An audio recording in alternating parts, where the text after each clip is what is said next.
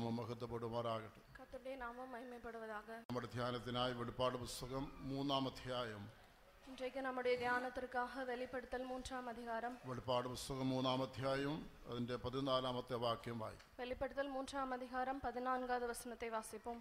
Laodicea சபையின் தூதனுக்கு நீ எழுத வேண்டியது என்னவெனில் உண்மையும் சத்தியமும் உள்ள சாட்சியம் தேவனுடைய சிருஷ்டிக்கு ஆதியமாயிருக்கிற ஆமேன் என்பவர் சொல்லுகிறதாவது ദൂത് ലവോദിക്ക സഭയ്ക്ക് എഴുതപ്പെടുന്ന ഒരു ദൂതാണ് இந்த தூதானது லவோதிக்கா சபைக்கு எழுதப்படுகிறதான ஒரு தூதாக இருக்கிறது ഓരോ സഭയ്ക്കും ദൂത് നൽകുമ്പോൾ ക്രിസ്തു തന്നെ തന്നെ പുതിയ പുതിയ പേരുകളിൽ വെളിപ്പെ പരിചയപ്പെടുത്തുന്നത് നമുക്ക് കാണുവാൻ കഴിയും ஒவ்வொரு சபைகளுக்கும் தூதை கொடுக்கும்போது கிறிஸ்து தானே வெவ்வேறு ப- பெயர்களில் தன்னை அறிமுகப்படுத்துகிறதாக நாம் பார்க்கிறோம் അങ്ങനെ വേറെ വിധമായിട്ട് പറയുന്നത് അതത് സഭയുടെ അവസ്ഥയ്ക്ക് ഏറ്റ വിധമായിട്ടാണ് வேறு விதமாக சொல்லும்போது சபையினுடைய நிலவரத்துக்கு ஏற்றவாறு அவர் அப்படி அப்படி சொல்லுகிறார் അല്ലെങ്കിൽ ആ സഭയ്ക്ക് ക്രിസ്തുവിനെ കുറിച്ച് അങ്ങനെയുള്ള ഒരു വെളിപ്പാട് നഷ്ടപ്പെട്ടത് പോയതുകൊണ്ട് അത് അവരെ ഓർപ്പിച്ച് ഉണർത്തി ഓരോ സഭയോടും പറയുകയാണ് ചെയ്യുന്നത് அந்த சபைக்கு கிறிஸ்துவை பற்றதான வெளிப்படுத்தல் அஹ், குறைந்து போயிருக்கிறபடினால் அதை ஞாபகப்படுத்தும்படியாக அந்தந்த சபைகளுக்கு ஏற்றபடி அந்த தூதை கொடுக்கிறார் ഓരോ സഭയ്ക്ക് നൽകുമ്പോൾ തന്നെക്കുറിച്ച് നൽകുന്ന ആ വെളിപ്പാടിനനുസരിച്ച് അവരെ സമർപ്പിക്കുമ്പോൾ അവരുടെ അവസ്ഥയ്ക്ക് ഒരു വ്യത്യാസം ഉണ്ടാകുമെന്ന് നമുക്ക് മനസ്സിലാക്കാൻ കഴിയും. ഒരു സഭയ്ക്കും അവർ തുതി കൊടുക്കുമ്പോൾ അവർ ക്രിസ്തുവെ പറ്റിയുള്ള വെളിപ്പെടുത്തൽ വെളിപ്പെടുത്തലാണത്. അവർക്ക് നെനൈപ്പൂട്ടുംപടിയാകും അത് നല്ലവർത്തെ അവർ തിരുത്തി കൊല്ലുംപടിയാകും അത് തൂതാണത് നൽകപ്പെടുക സഭയോട് പറയുമ്പോൾ ഞാൻ വിശ്വസ്തനാണ് സത്യവാനാണ് ദൈവസൃഷ്ടിയുടെ ആരംഭമാണോ ഞാൻ ആമേൻ എന്നുള്ളവനാണ് എന്ന് പറയുകയാണ് இங்கே லவோதிக்கா சபையோடு கூட சொல்லும்போது உண்மையும் சத்தியம் உள்ள சாட்சியும் தேவனுடைய சிருஷ்டிக்கு ஆதியமா இருக்கிற ஆமேன் என்பவர் சொல்லுகிறதாவது അതിൽ എല്ലാം നാം ചിന്തിക്കുന്നില്ല യേശു പറയുന്നു ഞാൻ ആമേൻ ആകുന്നു എന്ന് അത് മാത്രം നാം ചിന്തിക്കുകയാണ് ஆ, இங்கே சொல்லப்பட்டிருக்கிறதான எல்லா காரியங்களையும் நாம் சிந்திக்கிறதில் அஹ், அல்ல அஹ், இங்கே சொ- ஆமேன் என்- ஆமேன் என்கிறவர் சொல்லுகிறதாவது என்கிறதான அந்த காரியத்தை மாத்த- மாத்திரம் நாம் ക്രിസ്തു சிந்திக்க പറയുന്നു போகிறோம் എന്റെ പേര് ആമേൻ എന്നാകുന്നു கிறிஸ்து சொல்லுகிறார் என்ற பெயர் ஆமேன் என்று ആമേൻ എന്നതിന് അർത്ഥം എന്താണ് ஆமேன் என்று சொல்வதற்கான அர்த்தம் என்ன ഒന്നാം അധ്യായത്തിന്റെ ഏഴാം വാക്യത്തിൽ വായിക്കുമ്പോൾ ஒன்றாம் அதிகாரம் ஏழாவது வசனத்தில் வாசிக்கும் போது അവന്റെ അവസാന ഭാഗത്ത് ഊവോ ആമേൻ അല്ലെങ്കിൽ ഇവൻ സോ ഏമേൻ എന്ന് എഴുതപ്പെട്ടിരിക്കുകയാണ് அப்படியே ஆகும் ஆமேன் என்று எழுதப்பட்டிருக்கிறது അഥവാ ആമേൻ എന്ന വാക്കിനർത്ഥം അങ്ങനെ തന്നെ അങ്ങനെ തന്നെ സംഭവിക്കും എന്നാണ് അർത്ഥം ஆமேன் என்று சொல்கிறதான அந்த வார்த்தையின் அர்த்தம் என்பது அப்படியே நடக்கும் என்பதுதான் அதன் அர்த்தம் ആമേൻ എന്ന പേര് യേശുക്രിസ്തുവിന് തികച്ചും യോജിക്കുന്ന ഒരു പേരാണ് യേശുക്രിസ്തുവിന് ഏ- യോജിക്കുന്ന അല്ലെങ്കിൽ ഏറ്റ ഒരു പേരാണ് ஆமேன் என்று சொல்வது இயேசு கிறிஸ்துவுக்கு ஏற்றதான ஒரு பெயராக இருக்கிறது എന്തുകൊണ്ടാണ് യേശുക്രിസ്തുവിന് ആമേൻ എന്ന പേര് വെച്ചിരിക്കുന്നത് எதற்காக இயேசு கிறிஸ்து ஆமேன் என்கிறதான பெயரை வைத்திருக்கிறார் അവൻ സൃഷ്ടിയുടെ ആരംഭമായതുകൊണ്ടാണ് அவர் சிருஷ்டிப்பின் ஆரம்பமாக இருக்கிறார் അഥവാ ആമേൻ എന്നുള്ള വാക്ക് ഉപയോഗിക്കുമ്പോൾ മുൻ നിത്യത മുതൽ വരും നിത്യത വരെ എന്നുള്ള അർത്ഥമാണ് അതിനുള്ളത് ஆமேன் என்கிறதான வா- அஹ் வார்த்தைக்கான அர்த்தம் என்பது அஹ், முன் நித்தியம் முதல் பின் நித்தியம் வரை இருக்கு- இருக்கிறார் என்பதான் அர்த்தம் ഫ്രം എവർലാസ്റ്റിംഗ് ടു എവർലാസ്റ്റിംഗ് അഥവാ മുൻ നിത്യത മുതൽ വരും നിത്യത വരെ ക്രിസ്തു നിത്യത മുഴുവനും നിറഞ്ഞു നിൽക്കുന്ന ഒരു വ്യക്തിയാണ് கிறிஸ்து நித்தியம் முழுவதுமாக நிறைந்திருக்கிறதான ஒரு நபராக இருக்கிறார் முன் நித்தியம் முதல் பின் நித்தியம் வரை அவர் இருக்கிறவராக இருக்கிறார் വേറെ വാക്കിൽ പറഞ്ഞാൽ അനാദി നിത്യത മുതൽ അനന്ത നിത്യത വരെ എന്ന് പറയാൻ കഴിയും ஆஹ் ஒரு மற்றொரு வா- வார்த்தையில் சொல்லும்போது ஆஹ் அ- அனாதி நித்தியத்திலிருந்து முடி முடிகிறதான் நித்தியம் வரையும் இருக்கிறது എന്തുകൊണ്ടെന്നാൽ ക്രിസ്തുവിനെ കൊണ്ടാണ് പിതാവായ ദൈവം എല്ലാ സൃഷ്ടിപ്പും നടത്തിയത് ஏனென்றால் கிறிஸ்துவை கொண்டே பிதாவாகிய தேவன் எல்லா சிருஷ்டிப்பையும் நடத்தினார் കൊലോസിർക്ക് എഴുതിയ ലേഖനം ഒന്നാം അധ്യായത്തിന്റെ கொலோசியர் எழுதினதாம் நிருபம் ஒன்றாம் அதிகாரத்தில் പതിനഞ്ച് മുതൽ പതിനേഴ് വരെ വാക്യങ്ങളിൽ അത് നമുക്ക് കാണാൻ കഴിയുന്നുണ്ട് பதினைந்து முதல் பதினேழு வரையிலான வசனங்களில் நாம் அதை பார்க்க முடிகிறது അവൻ അദൃശ്യനായ ദൈവത്തിന്റെ പ്രതിമയും സർവസൃഷ്ടിക്കും ആദ്യ ജാതനുമാകുന്നു அவர் அதர்சனமான தேவனுடைய தற்சுரூபமும் சர்வ சிருஷ்டிக்கும் முந்தின பேருமானவர் അവൻ ആ ക്രി- സൃഷ്ടിയുടെ ആദ്യജാതൻ എന്നതുകൊണ്ട് ഇന്ന് ചിലർ പറ- വ്യാഖ്യാനിക്കാറുണ്ട് ക്രിസ്തുവിനെ പിതാവായ ദൈവം സൃഷ്ടിച്ചതാണ് എന്ന് പറയാറുണ്ട് அவர் அதர்சனமான தேவனுடைய தற்சுரூபம் என்று சொல்லப்படுவதனால் ஆஹ், பிதாவாகிய தேவன் கிறிஸ்துவை சிருஷ்டித்தாரா என்று சிலர் கேட்கிறார்கள் ഇല്ല ക്രിസ്തു ദൈവമാണ് തൃത്വ ദൈവം ഒരുപോലെയാണ് കാണപ്പെടുന്നത് ക്രിസ്തു- ദൈവത്തിന് ആദി ഇല്ല അന്തവുമില്ല கிறிஸ்து தேவனாக இருக்கிறார் ஆஹ், அவருக்கு ஆஹ், ஆஹ், துவக்கமும் இல்லை முடிவும் இல்லை പിന്നെ ക്രിസ്തു എങ്ങനെയാണ് സൃഷ്ടിയുടെ ആരംഭമായത് പി- പി- പിന്നെ സ- സ- ക്രിസ്തു എപ്പടി സർവ സൃഷ്ടിക്കും മുന്നിന പേരാണാർ അതായത് ഏത് വസ്തു ഉണ്ടാക്കുന്നതിന് മുൻപ് അതിനൊരു അച്ച ഉണ്ടാക്കുന്ന ഒരു മോൾ ഉണ്ടാക്കുന്ന രീതി മനുഷ്യനുണ്ട് எந்த ஒரு அஹ், பொருளை உண்டாக்குவதற்கு முன்பாக அதற்கு முன்பாக ஒரு அச்சு உண்டாக்கப்படுகிறது അപ്പൊ ലോകത്തിലെ എല്ലാ സൃഷ്ടിയും ആ, ഉണ്ടാക്കപ്പെടും മുമ്പേ ക്രിസ്തു അതിന് ഒരു മോൾഡായിട്ട് മാറി அஹ்,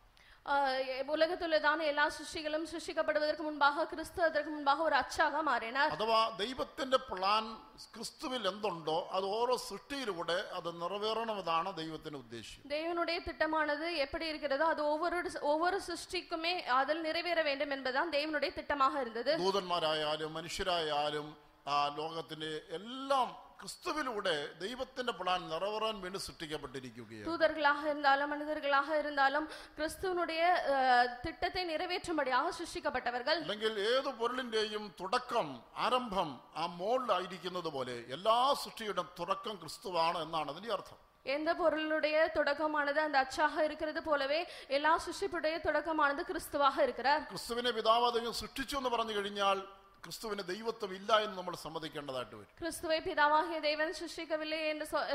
എന്റെ എടുപ്പം എന്നാൽ ക്രിസ്തുവിൽ ദൈവത്വവും ഇല്ലേ എന്നതാഹം ക്രിസ്തു തൃത്വത്തിൽ രണ്ടാമനായ ദൈവമാണ്. അതുകൊണ്ട് ക്രിസ്തുവിന് ഒരു ആരംഭമില്ല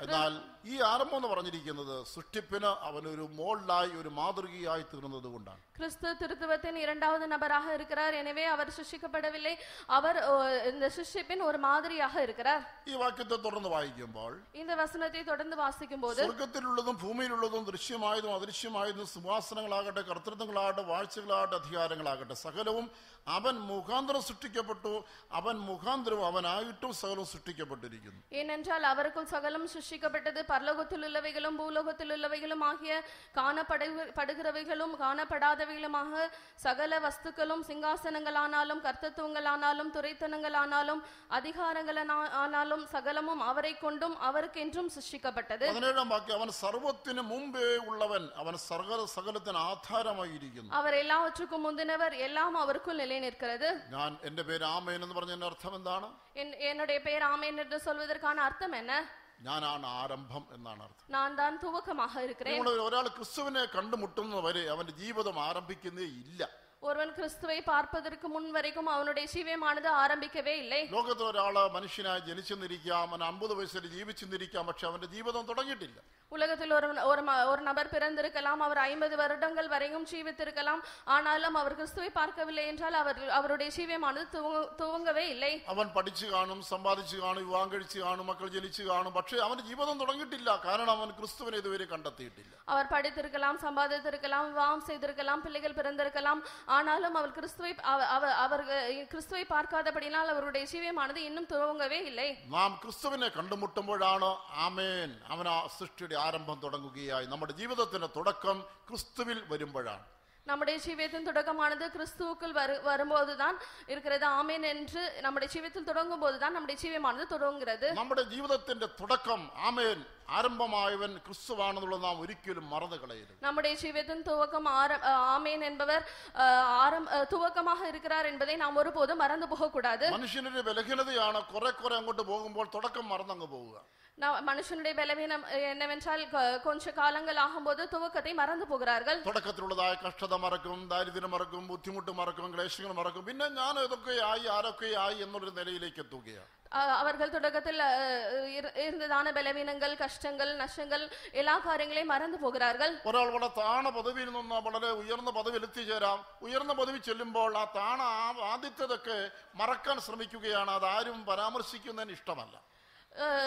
மிகவும் தாழ்வான ஒரு பதவியிலிருந்து உயர் பதவிக்கு எடுத்து செல்லப்படுகிறார்கள் உயர்ந்த பதவிக்கு சென்றடைந்த பொழுது தான் எவ்வளவாக தாழ்ந்த பதவியிலிருந்து கஷ்டப்பட்டோம் என்கிறதான அஹ், அந்த காரியத்தை மறந்து போகிறார்கள் மற்றவர்கள் அதை நினைப்பூட்டுகிறதையும் விரும்புகிறதில்லை മാത്രമല്ല അവന്റെ വളർച്ചയ്ക്ക് ഇപ്പോഴത്തെ നിലയ്ക്കും കാരണം ആരംഭം ക്രിസ്തുവാണെന്നുള്ളത് ചിലപ്പോൾ മറന്നു പോകുകയാണ് நம்முடைய சிவத்தின் வளர்ச்சிக்கும் இப்பொழுது இருக்கிறதான நிலவரத்துக்கும் ஆரம்பமானது கிறிஸ்து என்பதை மறந்து போகிறார்கள் എന്റെ കഴിവുകൊണ്ട് ഞാൻ പഠിച്ചു എന്റെ പ്രാപ്തി കൊണ്ട് ഞാൻ ഈ പദവിയിലെത്തി ഞാൻ മിടുക്കനായതുകൊണ്ട് ഇങ്ങനെല്ലാം ആയി അതെല്ലാം ക്രിസ്തു മുഖാന്തരമുള്ളത് മറന്നുപോയിട്ട് ക്രിസ്തുവിന് മഹത്വം കൊടുക്കാതെ തനിക്ക് മഹത്വം എടുക്കുന്നവനായിട്ട് മാറുകയാണ് என்ற திறமையினால் தான் நான் படித்தேன் என்ற திறமையினால் தான் இந்த உயர் பதவிக்கு அடைந்து சென்றேன் கிறிஸ்து அஹ், கிறு- அஹ், கிறிஸ்துவினால் இந்த காரியம் எனக்கு நேர்ந்தது என்பதை மறந்து போகிறார்கள் വിശുദ്ധന്മാർ ഒരിക്കലും അങ്ങനെയല്ല பரிசுத்தவான்கள் ஒருபோதும் அப்படி இருக்கவில்லை വിശുദ്ധ പൗലോസിനെ കുറിച്ച് നമ്മൾ വായിക്കുമ്പോൾ பரிசுத்த பவுலை குறித்து நாம் வாசிக்கும் போது ഒന്ന് തിമതിയോസ് ഒന്നാമധ്യായം ஒன்று தீமோத்தி ஒன்றாம் அதிகாரம் പതിനാറ് പതിനേഴ് എന്നുള്ള വാക്യങ്ങൾ ഇങ്ങനെയാണ് കാണുന്നത് பதினாறு பதினேழு வசனங்களில் இப்படி வாசிக்கிறோம் അവൻ അങ്ങനെ ഇങ്ങനെ പറയുന്നു ഞാൻ ആ പാപികൾ ഒന്നാമനാണ് நான் பாவிகளில் பிரதான பாவி என்று சொல்லுகிறார் എന്നിട്ടും യേശുക്രിസ്തു നിത്യജീവനായിക്കൊണ്ട് തന്നെ വിശ്വസിപ്പാനുള്ള ഒരു ദൃഷ്ടാന്തരത്തിനായി ദീർഘക്ഷമയും ആ, ഏ, കരുണയും എനിക്ക് കാണിച്ചു அப்படி இருந்தும் நித்திய ஜீவனை அடையும்படி இனிமேல் கிறிஸ்து அஹ், க- இயேசு கிறிஸ்துவினிடத்தில் விசுவாசமாய் இருப்பவர்களுக்கு திருஷ்டாந்தம் உண்டாகும் பொருட்டு பிரதான பாவியாக என்னிடத்தில் நீடிய பொறுமை காண்பிக்கும்படி இரக்கம் பெற்றேன் പന്ത് പതിമൂന്നാം വാക്യത്തിൽ ക്രിസ്തുവിനെ അറിയുന്നതിന് മുമ്പേ ഞാൻ ദൂഷകനായിരുന്നു ഉപദ്രവിയായിരുന്നു ദുഷ്ടൂരനായിരുന്നു கிறிஸ்துவை அறிவதற்கு முன்பாக நான் அஹ், പ- പതിമൂന്നാം വാക്യം முன்-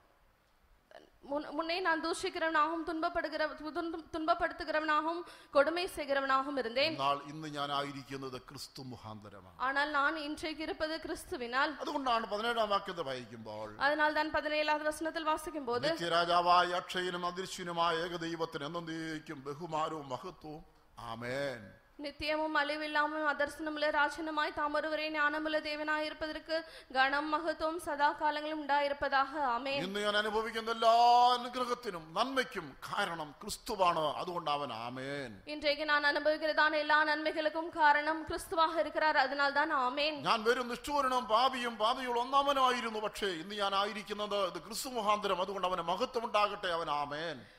நான் பாவிகளில் பிரதான பாவியாக இருந்தேன் நான் இன்றைக்கு ஜீவித்திருப்பது கிறிஸ்துவினால் எனவே அவருக்கு மகிமை உண்டாவதாக ஆமேன் என்று சொல்லுகிறார் ശ്രദ്ധിക്കണമേ നമ്മുടെ ആരംഭത്തെ കുറിച്ചുള്ളതായ അറിവ് ആ ചിന്ത ഓർമ്മകൾ വിട്ടുപോയാൽ ആമേൻ നമ്മളെ വിട്ടുപോകും நாம் நம்முடைய ஆரம் ஆரம்ப நாட்களை குறித்ததான ஒரு சிந்தையானது நம்மிடத்திலிருந்து கட அஹ், விட்டு போகும் என்றால் ஆமேன் என்பதை குறித்துதான் அந்த சிந்தையும் நமக்கு இல்லாதிருக்கும் ചിന്തിച്ചു നോക്കുക നമ്മുടെ ഉള്ളിൽ ആമേൻ ഉണ്ടോ சிந்தித்து பாருங்கள் நமக்குள் ஆமேன் என்கிறதானவர் இருக்கிறாரா എന്നിൽ ആമേൻ ഉണ്ടെന്ന് എനിക്ക് എങ്ങനെ ഏ, ക്രിസ്തു ആമേനായി എന്നിൽ ഉണ്ടെന്ന് എനിക്ക് എങ്ങനെ പറയാൻ കഴിയും கிறிஸ்து ஆமேன் என்பவரா என்னுள் எனக்குள் இருக்கிறார் என்பதை என்னால் எப்படி சொல்ல முடியும் എന്നിൽ ആമേൻ ഉണ്ടെന്ന് നിങ്ങൾക്ക് എങ്ങനെ പറയാൻ കഴിയും எனக்குள் ஆமேன் என்பவர் இருக்கிறார் என்பதை உங்களா உங்களால் எப்படி சொல்ல ഞാൻ முடியும் എന്റെ ആരംഭം മറക്കാത്തവനാണെങ്കിൽ എന്നിൽ ആമേനായി ക്രിസ്തു വസിക്കുന്നു நான் என்னுடைய துவக்கத்தை மறக்காதவனாக இருப்பேன் என்றால் எனக்குள் ஆமேனாக கிறிஸ்து வாசம் பண்ணுவார் ഞാൻ ആരംഭം മറന്നിട്ട് ഞാൻ പ്രശംസിക്കുന്നവനോ നിഗളിക്കുന്നവനോ പുകഴ്ച സ്വയം എടുക്കുന്നവനായിരിക്കുന്നെങ്കിൽ എന്നിൽ ആമേൻ ഇല്ല என்னுடைய ஆரம்ப நாட்களை மறந்து போய் நான் மேன்மை பாராட்டுகிறவனாகவும் பெருமையுள்ளவனாகவும் இருப்பேன் என்றால் எனக்குள் ஆமேன் என்பவர் இல்லை നിബോധിക്ക സഭ അവിടെ ആരംഭം മറന്നു കളഞ്ഞു லவோதிக்க சபையார் தங்களுடைய ஆரம்பத்தை மறந்து ഞാൻ போனார்கள் തൃ- തൃപ്തനായിരിക്കുന്നു എനിക്ക് ഒന്നിനും മുട്ടില്ല എന്നുള്ള നിലയിൽ എത്തിച്ചേർന്നപ്പോൾ ക്രിസ്തു പറയുകയാണ് ആമേൻ നിന്നിലില്ല நாங்கள் ஆ- ஐஸ்வர்வான்களாக இருக்கிறோம் எங்களுக்கு ஒரு குறையும் இல்லை என்று சொல்ல சொல்லும்போது கிறிஸ்து சொல்லுகிறார் ஆமேன் என்பவர் உன்னிடத்தில் இல்லை என்று നിരവധിക സഭയെ ആമേനാകുന്നവൻ നിന്നോട് അള്ളി ചെയ്യുന്നു നിന്റെ ആരംഭത്തെ നീ ചിന്തിക്കുക லவோதிக்க சபையை ஆமேன் என்று சொல்லுகிறவர் உன்னிடத்தில் சொல்லுகிறார் உன்னுடைய துவக்க நாட்களை நினைத்துப் பார் നിനക്കെന്നെല്ലാം ഉണ്ടെന്ന് പറയുന്നെങ്കിൽ അതിന്റെ കാരണക്കാരൻ ഞാനാണ് എന്നുള്ളത് മറക്കാതിരിക്കുക உனக்கு எல்லாமே இருக்கிறது என்று நீ நினைக்கும் போது அதன் காரணமாக இருக்கிறவர் நான் என்பதை நீ மறந்து போக வேண்டாம் നമ്മുടെ ആരംഭം മാത്രമല്ല ദൈവസഭയുടെ അനുഭവവും ക്രിസ്തുവിലൂടെയാണ് நம்முடைய ஆரம்பம் மட்டுமல்ல சபை அஹ், சபையினுடைய ஆரம்பமும் கிறிஸ்துவாக இருக்கிறார் നാം അതിനെക്കുറിച്ചുള്ള അറിവ് ഉള്ളവരായി കാണപ്പെടണം நாம் அதனை குறித்து அறிவுள்ளவர்களாக இருக்க வேண்டும் എത്ര പേർക്ക് ഈ വേലയുടെ ആരംഭത്തെ കുറിച്ചുള്ളതായ അറിവുണ്ട് எத்தனை பேருக்கு இந்த ஊழியத்தை குறித்ததான ஆரம்ப நாட்களை குறித்து அறிவு இருக்கிறது പെന്തക്കോസ്ത് മിഷന്റെ ആരംഭത്തെ കുറിച്ച് എത്ര പേർക്ക് അറിവുള്ളവരായിരിക്കുന്നു பெந்தகோஸ்த மிஷனுடைய ஆரம்பத்தை குறித்து எத்தனை பேர் அறிவுள்ளவர்களாக இருக்கிறீர்கள் ചിലർക്ക് ഇങ്ങനെയുള്ള കാര്യങ്ങളൊന്നും തേടണമെന്നോ മനസ്സിലാക്കണമെന്നോ ഇല്ല വന്നു നമ്മളേതോ വലിയൊരു സഭ വന്നു നമ്മൾ ഇതിലെ ഒരാളായി ഇങ്ങനെ അങ്ങ് പോകുന്നു சிலர் இந்த இந்த காரியங்களை அறிந்து கொள்ளவோ வி- அறிந்து கொள்ள விருப்பப்படுகிறதோ இல்லை ஏதோ ஒரு ஆளாக வந்து போகிறோம் ഞാൻ പറയുന്നത് നിന്നിൽ ആമേൻ ഉണ്ടെങ്കിൽ നീ ആയിരിക്കുന്ന ഊളിയത്തിനുടെ ആരംഭം നീ അന്വേഷിക്കുന്നവനും അത് ചിന്തിക്കുന്നവനും നീ ആയിരിക്കും உனக்கு ஆமேன் என்பவர் இருப்பார் என்றால் நீ அஹ், வந்திருக்கிறதான இந்த சபையை குறித்ததான அஹ், காரியங்களை தேடி விசாரித்து அஹ், கண்டுபிடிக்கிறவராக காணப்படுவாய் ഇവിടെ ഇരിക്കുന്ന എല്ലാവരും തന്നെ എൻ്റെ ചിലപ്പോൾ പുതിയ ആളുകൾ ഒന്നോ രണ്ടോ കാണാൻ അത് എല്ലാവരും ഇതിലെ വിശ്വാസികളാണ് சில பே- சில வேளைகளில் இதில் ஒன்றோ இரண்டோ புதிய ஆத்மாக்கள் இருப்பீர்கள் மற்ற எல்லாருமே விசுவாசிகள் தான் ഒറ്റ ചോദ്യം ഈ വേല ഈ ആരംഭിച്ച് ബന്ധക്കോസ് മിഷൻ ആരംഭിച്ച വ്യക്തിയുടെ പേരറിയാവുന്നവരൊന്ന് കൈവക്കിക്ക് பெந்தகோஸ்த மிஷன் ஆரம்பித்தவருடைய இந்த ஊழியத்தை ஆரம்பித்தவருடைய பெயர் என்ன- என்ன என்பது தெரிந்தவர்கள் கை உயர்த்துங்கள் ഉണ്ടോ അപ്പൊ ചില പേ- ചില കൈകൾ ഉയർന്നിട്ടില്ല சில கைகள் உயர்த்தப்படவில்லை ആ നിന്റെ നിന്നിൽ ആമേൻ ഇല്ല உன்னில் ஆமேன் என்பவர் இல்லை ഇതിൽ വന്നു നീ സഭയുടെ ആരംഭത്തെ കുറിച്ച് അന്വേഷിച്ചിട്ടുണ്ടോ நீங்கள் சபைக்கு வந்தீர்கள் சபையில் உள்ளதான துவக்கத்தை குறித்து நீங்கள் விசாரித்திருக்கிறீர்களா തുടങ്ങിയത് ആരാന്ന് നീ അന്വ- മനസ്സിലാക്കിയിട്ടുണ്ടോ இந்த சபையை ஆரம்பித்தவர் யார் என்று உங்களுக்கு தெரியுமா ഈ തുടങ്ങിയപ്പോ ഇതുപോലെ എട്ട് തൂണും ഇതുപോലെ അമ്പത്തി ആറ് ഫാനും എൺപത്തേഴ് ട്യൂബും ഉണ്ടായിരുന്നു എന്നാണ് നിന്റെ വിചാരം இதே போல எட்டு தூண்களும் எண்பத்தி ஆறு ஃபேனும் டியூபுகளும் இருந்தது என்பதே உங்களுடைய நினைப்பு ഇതിന്റെ ആരംഭത്തിൽ ഇങ്ങനെയുള്ളതായ ടാറ്റ സുമോയും ആ ഗോൾഡും ആ സിൽവറും ഒക്കെ ഉണ്ടായിരുന്നാണ് നിന്റെ വിചാരം ஆரம்ப து- இந்த ஊழியம் துவக்கும் போது தானே இந்த டாடா ஸ்மோவும் அஹ், எல்லா வசதிகளும் இருந்தது என்பதுதான் உங்கள் உங்களுடைய நினைப்பு ആ ഇതിന്റെ ആരംഭത്തിലുണ്ടെന്ന വിശുദ്ധന്മാർക്ക് എന്നെ പോലെ കുടവയറുണ്ടെന്നാണ് നീ വിചാരിച്ചിരിക്കുന്നത് ஆரம்பத்துள்ளதான பரிசுத்தவான்களுக்கு என்னை போல കുടവയറ് தொ- தொப்பை வயிறு இருந்தது என்பதுதான் அஹ், நீங்கள் പാ- நினைத்திருக்கிறீர்கள் പട്ടിണി കിടന്ന് കോലം തിരിഞ്ഞ് നടന്ന വിശുദ്ധന്മാരാണ് ഈ വേല തുടങ്ങിയത് പട്ടിണി കിടന്ന് എല്ലും തോലുമായ ആ വിശുദ്ധന്മാരാണ് വേല ആരംഭിച്ചതെന്ന് பட்டினி இருந்து எலும்பும் தோலுமாக இருந்ததான பரிசுத்தவான்கள் தான் இந்த ஊழியத்தை ஆரம்பித்தார்கள் ചുമ്മാ ഇങ്ങോട്ട് സ്നാനപ്പെട്ട് വന്നു അല്ലെങ്കിൽ വേറെ സഭ സ്നാനപ്പെട്ട് ഇങ്ങോട്ട് കയറി വന്ന് ചുമ്മാ ഇതിനകത്ത് ജീവിക്കരുത് നീ വേലയുടെ ആരംഭം തേടി അന്വേഷിച്ച് മനസ്സിലാക്കണം சும்மா இங்கே ஞானஸ்தானம் எடுத்து வேற சபையில இருந்து இங்கே வந்து இங்கே இருந்து சும்மா அஹ், இருக்கக்கூடாது இதில் இருக்கிறதான காரியங்களை தே- தேடி விசாரிக்கிறவர்களாக இருக்க வேண்டும் ആമേൻ ഉള്ളില്ലാത്ത വിശേഷ വേലക്കാരുണ്ട് ஆமேன் என்பவர் இல்லாத ஊழியர்கள் இருக்கிறார்கள். உள்ளத்தில் ஆமேன் இல்லாத ஈசோட வேலைக்காரர் உள்ளத்தில் ஆமேன் என்பவர் இல்லாத ஊழியர்கள் இருக்கிறார்கள். இவருடைய ஆரம்பவர் அறியுதில்லை இந்த ஊழியத்தினுடைய துவக்கத்தை அவர்கள் ഇപ്പോൾ அறிவதில்லை ഇങ്ങോട്ട് വന്നപ്പോൾ ഈ വേല എങ്ങനെ ഇരിക്കുന്നു അതാണ് ടി പി എം അവർ അവരുടെ വിചാരം നിന്റെ ഉള്ളിൽ ആമേൻ ഇല്ല ஊழியத்துக்கு வந்த பிறகு இந்த ஊழியம் எப்படி இருக்கிறது என்பதை மாத்திரம் தெரிகிறது ஆ, அ- அதுதான் அ- அப்படித்தான் இருந்தது என்று நினைக்கிறார்கள் உனக்குள் ஆமேன் என்பவர் இல்லை സഭയുടെ ആരംഭം നീ അറിഞ്ഞിരിക്കണം சபையினுடைய ஆரம்பத்தை நீங்கள் அறிந்திருக்க வேண்டும் ഞാൻ ആമേനാകുന്നവനുള്ള ചെയ്യുന്നവൻ ஆமேன் என்று சொல்லுகிறவர் சொல்லுகிறதாவது ആ ഞാൻ ട്രെയിനിങ് പിടിച്ച് വന്നപ്പോൾ എനിക്ക് കൊട്ടാരക്കരയിൽ ഒരു രണ്ട് കണ്ണിനും കാഴ്ചയില്ലാത്ത ഷൂറ് പിടിച്ച് കിടപ്പിലായ ഒരു പാസ്റ്ററെ ശുശ്രൂഷിക്കാൻ കിട്ടി. ട്രെയിനിങ് മുടിത്തുവിട്ട് വന്ന വന്ന പിറകു കൊട്ടാരക്കരയിൽ രണ്ട് കണ്ണുകളും തെരയാതെ ഷുഗർ ഇരുന്നതാണ് ഒരു വയതാണവരെ താൻ ഗവണിക്ക് രണ്ട് വിരലെല്ലാം മുറിഞ്ഞു മലവും മൂത്രം എല്ലാം എടുക്കണം ഭക്ഷണം എല്ലാം കൊണ്ട് കൊടുക്കണം എല്ലാം ഞാൻ ചെയ്യുമായിരുന്നു. ഈ രണ്ട് വിരലുകൾ ഇല്ലാതെ ഞാൻ സാപ്പാട് കൊണ്ടുപോയി കൊടുക്ക വേണം അവർക്കുള്ള എല്ലാ കടന്മകളെയും ഞാൻ ചെയ്യ വേണ്ടും. ഒരു പഴയ ആളെന്ന നിലയിൽ എന്റെ പ്രധാന ജോലി എന്നോട് പലരും അത് ഞാൻ പറഞ്ഞുകൂടാ ആ ഞാൻ അദ്ദേഹത്തോട് അടുത്തിട്ട് ഞാൻ ചെയ്തത് അദ്ദേഹത്തിന്റെ അറിവിൽ വേലയുടെ ആരംഭത്തെക്കുറിച്ച് കാര്യങ്ങൾ ചോദിച്ച് ഞാൻ അറിഞ്ഞുകൊണ്ടേയിരുന്നു அவர் அவரிடத்தில் நான் போய் அவர் பழைய ஆளாக இருந்தபடினால் ஆஹ், அந்த ஊழியத்தினுடைய ஆரம்ப காரியங்களை கே- குறித்து அவரிடத்தில் கேட்டு கேட்டுக்கொண்டே இருந்தேன் ഒരിക്കൽ ഞാൻ തന്നെ ഒരു ചോദ്യം ചോദിച്ചു ஒரு முறை அவரிடத்தில் நான் ஒரு கேள்வி கேட்டேன் വിവാഹത്തെ കുറിച്ച് പാസ്റ്റർ പോൾ എന്താ പറഞ്ഞിട്ടുള്ളതെന്ന് ചോദിച്ചു விவாகத்தை குறித்து பாஸ்டர் பால் அவர்கள் என்ன சொல்லியிருக்கிறார்கள் என்று கேட்டேன் അപ്പോൾ പറഞ്ഞു அவர் சொன்னார் വിശ്വാസികൾ അവരുടെ മക്കൾക്ക് വേണ്ടി വിവാഹം ആലോചിച്ച് എല്ലാം കഴിഞ്ഞാൽ അത് നടത്തി കൊടുക്കുന്നത് ഒഴികെ അതിനിപ്പുറത്തുള്ള ഒരു കാര്യത്തിൽ സുശേഷ വിലക്കാരെ തലയിടാൻ പാടില്ല. பெற்றோர்கள் அவர்களுடைய பிள்ளைகளுடைய திருமணத்தை ஆலோசித்து அவர்கள் ஆஹ், அவ- அவர்கள் எல்லா காரியங்களையும் ஒழுங்குபடுத்தின பிறகு நடத்தி கொடுப்பதே அல்லாமல் அதற்கு பிறகு உள்ளதான காரியங்களை ஆஹ், ஊழியர்கள் தலையிடக்கூடாது സുവിശേഷ വിലക്കാര് പെണ്ണ് തേടിക്കൊടുക്കാനും ചെറുക്കനെ തേടിക്കൊടുക്കാനും പിന്നെ ഡൗറിയുടെ കാര്യം ആ, ആ, ആലോചിക്കാനും പിന്നെ നടത്തുന്നതായ ഓഡിറ്റോറിയം അന്വേഷിക്കാനും ഇതൊന്നും സുവിശേഷ വിലക്കാര് പോകാൻ പാടില്ല ஊழியர்களுக்கு பெண் தேடி கொடுப்பதோ பையன் பார்த்து கொடுப்பதோ டவுரி காரியங்கள் மற்ற காரியங்கள் தலையிடுவதோ ஊழியர்களுடைய காரியம் அல்ல அதெல்லாம் மாதாபிதாக்கள் செய்து கொள்ளலாம். சுவிசேஷ வேலைக்காருக்கு ஒரு லிமிட் உண்டு. നടത്തി കൊടുക്കുന്ന ഒഴുകിന് ഇപ്പുറത്തുള്ള ഒന്നിനും തലയിടരുത് அதெல்லாம் தாய் தகப்பன்மார் செய்து கொள்ள வேண்டும் சு- ஊழியர்கள் நடத்தி கொடுப்பதை தவிர மற்ற எந்த காரியங்களையும் தலையிடக்கூடாது ഇന്നും ഞാൻ ഇതിന് ആരംഭത്തെ കുറിച്ച് അന്വേഷിച്ചുകൊണ്ടേയിരിക്കുന്ന ഒരു മനുഷ്യനാണ് இன்றைக்கும் நான் அந்த, அஹ், ஊழியத்தின் ஆரம்பத்தை குறித்து நான் அஹ், விசாரித்துக் கொண்டு தேடிக்கொண்டே இருக்கிறதான ஒரு ഇന്നും மனுஷனாக ആര- இருக்கிறேன் ആരംഭം അറിയാവുന്ന പലരെയും ചെന്ന് കാണാൻ വേണ്ടത്ര നാളുകൊണ്ടേ ഞാൻ ആശിച്ചിരിക്കുക സന്ദർഭം കിട്ടുന്നില്ല അവർ മരിക്കും മുമ്പേ കാണണമെന്ന് പ്രാർത്ഥിച്ചുകൊണ്ടിരിക്കുകയാണ് ஆஹ், இந்த ஊழியத்தின் துவக்கத்தை குறித்து அறிந்ததான நபர்களை ஆஹ், பார்க்க வேண்டும் அவர்களிடத்தில் பேச வேண்டும் என்று நான் சந்தர்ப்பம் பார்த்து கொண்டே இருக்கிறேன் ആമേൻ ഉള്ളില്ലാത്തൊരു വേലക്കാരനായി ആമേനെ ഉള്ളില്ലാത്തൊരു വിശ്വാസിയായി നീ ജീവിക്കരുത് ஆமேன் என்பவர் உள்ளில் இருக்க- இல்- இல்லாத ஒரு விசுவாசியாகவும் ஊழியர்களாகவும் நாம் ஜீவிக்க கூடாது നിന്റെ ജീവിതത്തിന്റെ ആരംഭത്തെ നീ മറ- മറക്കരുത് അതേപോലെ തന്നെ ഈ വേല നീ ഉൾ- ഉൾപ്പെട്ട് നിൽക്കുന്ന വേലയുടെ ആരംഭത്തെ കുറിച്ചുള്ളതായ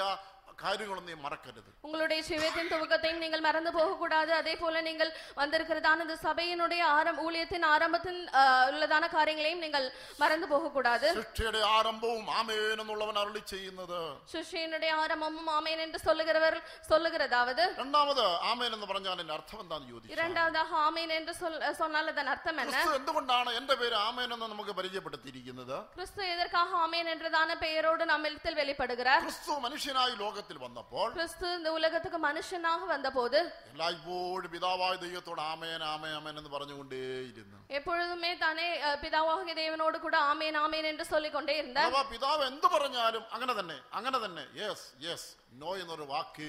ക്രിസ്തുവിൽ നിന്ന് വന്നിട്ടില്ല பிதா என்ன சொன்னாலும் அது அப்படியாகட்டும் அப்படியாகட்டும் என்று அதற்கு ஆமாம் என்று சொல்லிக் கொண்டே இருந்தால் இல்லை மாட்டேன் என்கிற சொல்கிறதான அஹ், அந்த காரியம் அவரிடத்தில் இல்லை പിതാവിന്റെ ഹിതത്തിന് പിതാവിന്റെ നടത്തിപ്പിന് പിതാവിന്റെ ആലോചനയ്ക്ക് പിതാവിന്റെ തീരുമാനത്തിന് എപ്പോഴും അമേൻ അല്ലാതെ മാറ്റി ഒരു വാക്ക് പറഞ്ഞിട്ടില്ല பிதாவினுடைய சித்தத்துக்கும் பிதாவினுடைய ஆலோசனைக்கும் பிதாவினுடைய தீர்மானத்திற்கும் எல்லாவற்றுக்கும் ஆமேன் என்று சொன்னாரே தவிர மற்ற எந்த ஒரு வார்த்தையும் அவர் சொல்லவில்லை നടത്തിപ്പിനെ അനുസരിക്കാത്ത അതിനെ വിമർശിക്കുന്ന ഒരു സുവിശേഷവിലക്കാരന്റെ ഉള്ളിൽ ആമേനില്ല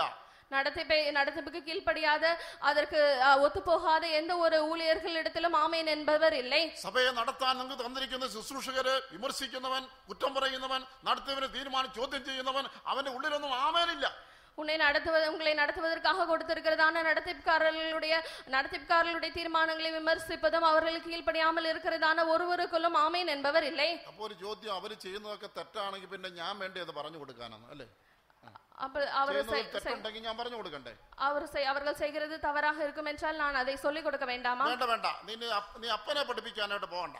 உங்கள் தகப்பனை தகப்பனுக்கு புத்தி சொல்லும்படியாக போக வேண்டாம் അപ്പ തെറ്റുന്നെങ്കിൽ തെറ്റിക്കോട്ടെ தகப்பன் தவறு செய்தால் தவறு செய்- தவறு தவறிக்கொள்ளட்டும் അത് അത് ദൈവം നോക്കിക്കോളും அது தேவன் பார்த்துக்கொள்வார் അതല്ലാതെ നീ നടത്തിപ്പിനെയും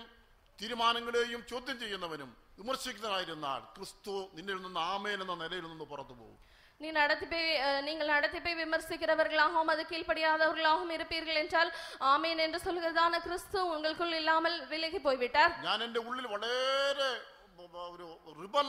ഉള്ള റിബലായ ഒരു മനുഷ്യനാണ് ഞാൻ நான் மிகவும் எதிர்க்கிறதான ஒரு மனுஷனாக இருந்தேன் ആ ഞാൻ വളരെ നിങ്ങളെക്കാളൊക്കെ ഞാൻ വളരെ റിബലായിട്ട് ഒരുത്തനാണ് உங்களை உங்களை விட உங்களை எல்லாரை காட்டிலும் நான் அதிகமாக எதிர்க்கிறவனாக காணப்பட்டேன் എൻ്റെ സുവിശേഷയുടെ ആരംഭത്തിൽ ഞാൻ നടത്തിപ്പാട് പല തീരുമാനങ്ങളെയും സംശയിച്ചും വിമർശിച്ചും എതിർത്തും ഒടുവിൽ ഞാൻ പാഠം പഠിച്ചു ആമേൻ പറയാനല്ലാതെ വേറൊന്നും ദൈവം എന്നെ കുറിച്ച് ഉദ്ദേശിക്കുന്നില്ല என்னுடைய ஊழியத்தின் ஆரம்பத்தில் நான் நடத்திப்புக்காரர்களுடைய தீர்மானங்களை விமர்சித்தும் அதற்கு கீழ்ப்படியாமையும் ஆஹ், எதிர்த்தும் இருந்திருக்கிறேன் ஆனால் ஆஹ், நான் முடிவில் படித்ததான பாடம் ஆ- எ- எ- எது சொன்னாலும் ஆமேன் என்று சொல்ல வேண்டும் என்று ശുശ്രൂഷയ്ക്ക് വന്ന ഒന്ന് രണ്ട് മൂന്ന് വർഷങ്ങളിലൊക്കെ ഞാൻ വളരെ എതിർപ്പുള്ളവനായിരുന്നു നടത്തിപ്പാട് പല കാര്യം എതിർത്തു നോക്കി ഒടുവിൽ ദൈവം എന്നെ പഠിപ്പിച്ചു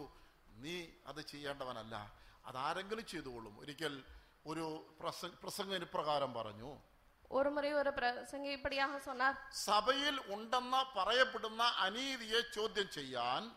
சபையில் இருக்கிறது என்று சொல்லப்படுகிறதான அநியாயமான காரியத்தை கேள்வி ഒരു கேட்கும்படியாக യൂതായെ ദൈവം വെച്ചിട്ടുണ്ട് ஒரு யூதாவை தேவன் வைத்திருக்கிறார் നീ ആ പണി ചെയ്യരുത് நீ அந்த அந்த வேலையை நீ செய்ய வேண்டாம் ഉം, ചില കാര്യങ്ങൾ അനീതിയാ ചിലതെല്ലാം അന്യായമാ ചിലതെല്ലാം നീതിക്ക് നിരക്കാത്തതാ തോന്നും പക്ഷെ അത് ചോദ്യം ചെയ്യാൻ ഒരു ഒരു യൂത ചെയ്തോളും നീ ഒരു യൂതാകണ്ട. യൂതാകാൻ ആഗ്രഹിക്കുന്നവരെല്ലാം കൈയുയർത്തല്ലേ പറഞ്ഞാട്ടെ? ആരുമില്ലേ? യേശു ആകാൻ ആഗ്രഹിക്കുന്നവർ കൈയുയർത്തല്ലേ പറഞ്ഞാട്ടെ?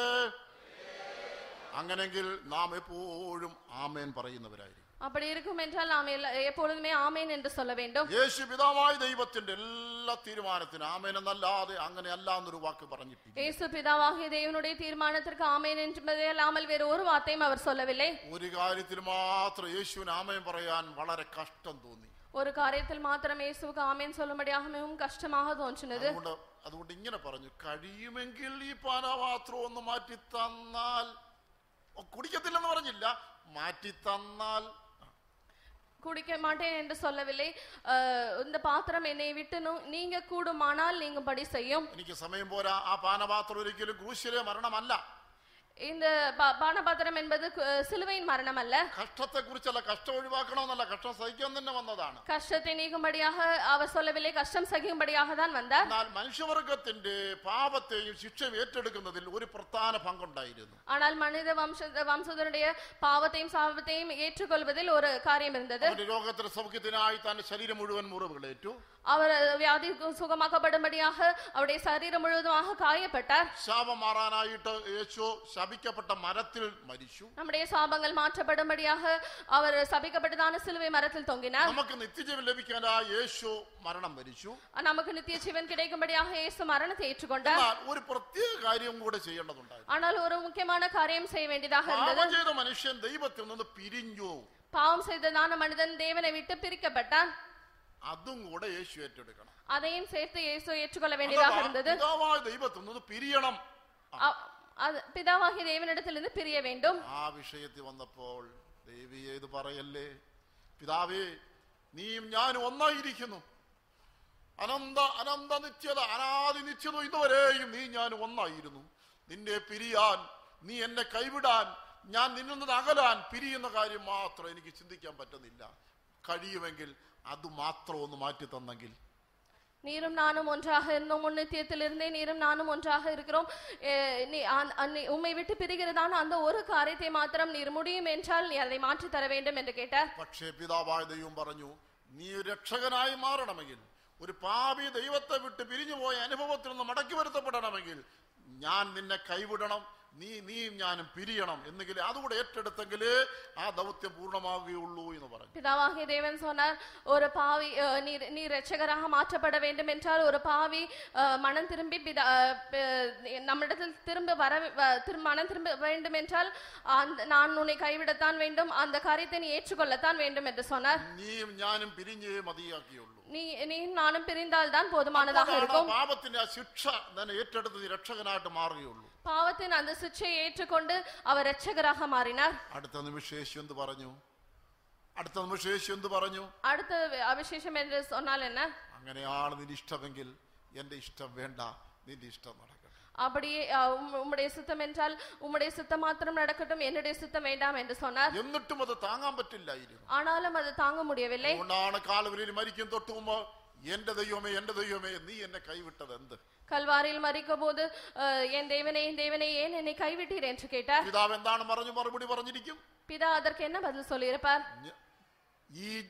എന്നിൽ നിന്ന് പാപത്താൽ പിരിഞ്ഞു പോയ ജനത്തെ ഞാൻ വീണ്ടെടുക്കണമെങ്കിൽ ഞാൻ നിന്നെ കൈവിട്ടേ മതിയാകുകയുള്ളൂ അതുകൊണ്ട് ഞാൻ നിന്നെ കൈവിട്ടിരിക്കുന്നു. എന്നാൽ ഞാൻ നിന്നെ ചേർത്തുകൊള്ളും. என்னிடத்திலிருந்து பாவத்தினால் அகன்று போயிருக்கிறதான ஜனங்களை என்னிடத்தில் ஏற்றுக்கொள்ள வேண்டும் என்றால் நான் உன்னை கைவிட்டால் மாத்திரமே போதுமானதாக இருக்கும் இருந்து- இருக்கும் ஆனாலும் நான் உன்னை சேர்த்துக் கொள்வேன் என்று சொன்னார் ആമേൻ എന്ന വാക്കിന് മൂലഭാഷയിൽ തടവുകാരൻ അതായത് യുദ്ധത്തിൽ തടവ് തടവുകാരായിട്ട് അടിമകളായി പിടിക്കപ്പെടുന്ന തടവുകാരൻ എന്നുള്ള അർത്ഥമുണ്ട് ஆமீன் என்கிறதான அஹ், அஹ், வா- வார்த்தைக்குரிய மூல பாஷையில் அர்த்தம் அஹ், அஹ், யுத்தத்தில் அடிமைகளாக பிடிக்கப்பட்டவர்கள் അടിമ എന്നുള്ള അർത്ഥം அடிமை என்பதுதான் ഒരു அதன் அர்த்தம் അടിമയ്ക്ക് സ്വന്തം അഭിപ്രായവും സ്വന്തം ഇഷ്ടങ്ങളൊന്നുമില്ല அடிமைக்கு சொந்த இஷ்டமோ சொந்த அபிப்பிராயங்கள் ஒன்றும் இருக்காது അങ്ങനെയല്ല ഇങ്ങനെയാണെന്ന് പറയാൻ ഒരു അവകാശവുമില്ല அப்படி அல்ல இப்படி என்று சொல்வதற்கு எந்த ஒரு உரிமையும் இல்லை പിതാവായ ദൈവത്തിന്റെ ഒപ്പം ഇരുന്നവൻ ദാസനായ അടിമയായ ലോകത്തിലേക്ക് വന്നു பிதாவாகிய தேவனுக்கு சமமாக இருந்தவர் அவர் அடிமையின் ரூபம் எடுத்து உ- உ- உலகத்துக்கு கடந்து வந்தார் അതുകൊണ്ട് ഒരു അടിമ എസ് എസ് എന്നല്ലാതെ നോ എന്നൊരു വാക്ക് പറഞ്ഞിട്ടേ ഇല്ല அடிமை ஆமேன் என்பது சொல்லுவதே அல்லாமல் அஹ், ம- செய்ய மாட்டேன் என்று சொல்ல முடியாது എഫെസ് ലേഖനം നാലാം അധ്യായത്തിന് ഒന്നാം വാക്യത്തിൽ പറയുന്നത് പോലെ எபேசியர், அஹ், நான்காம் அதிகாரம் ஒன்றாம் வசனத்தில் சொல்லும்போது പൗലോസ് പറയുന്നു ക്രിസ്തു യേശുവിനെ ബദ്ധനായ ഞാൻ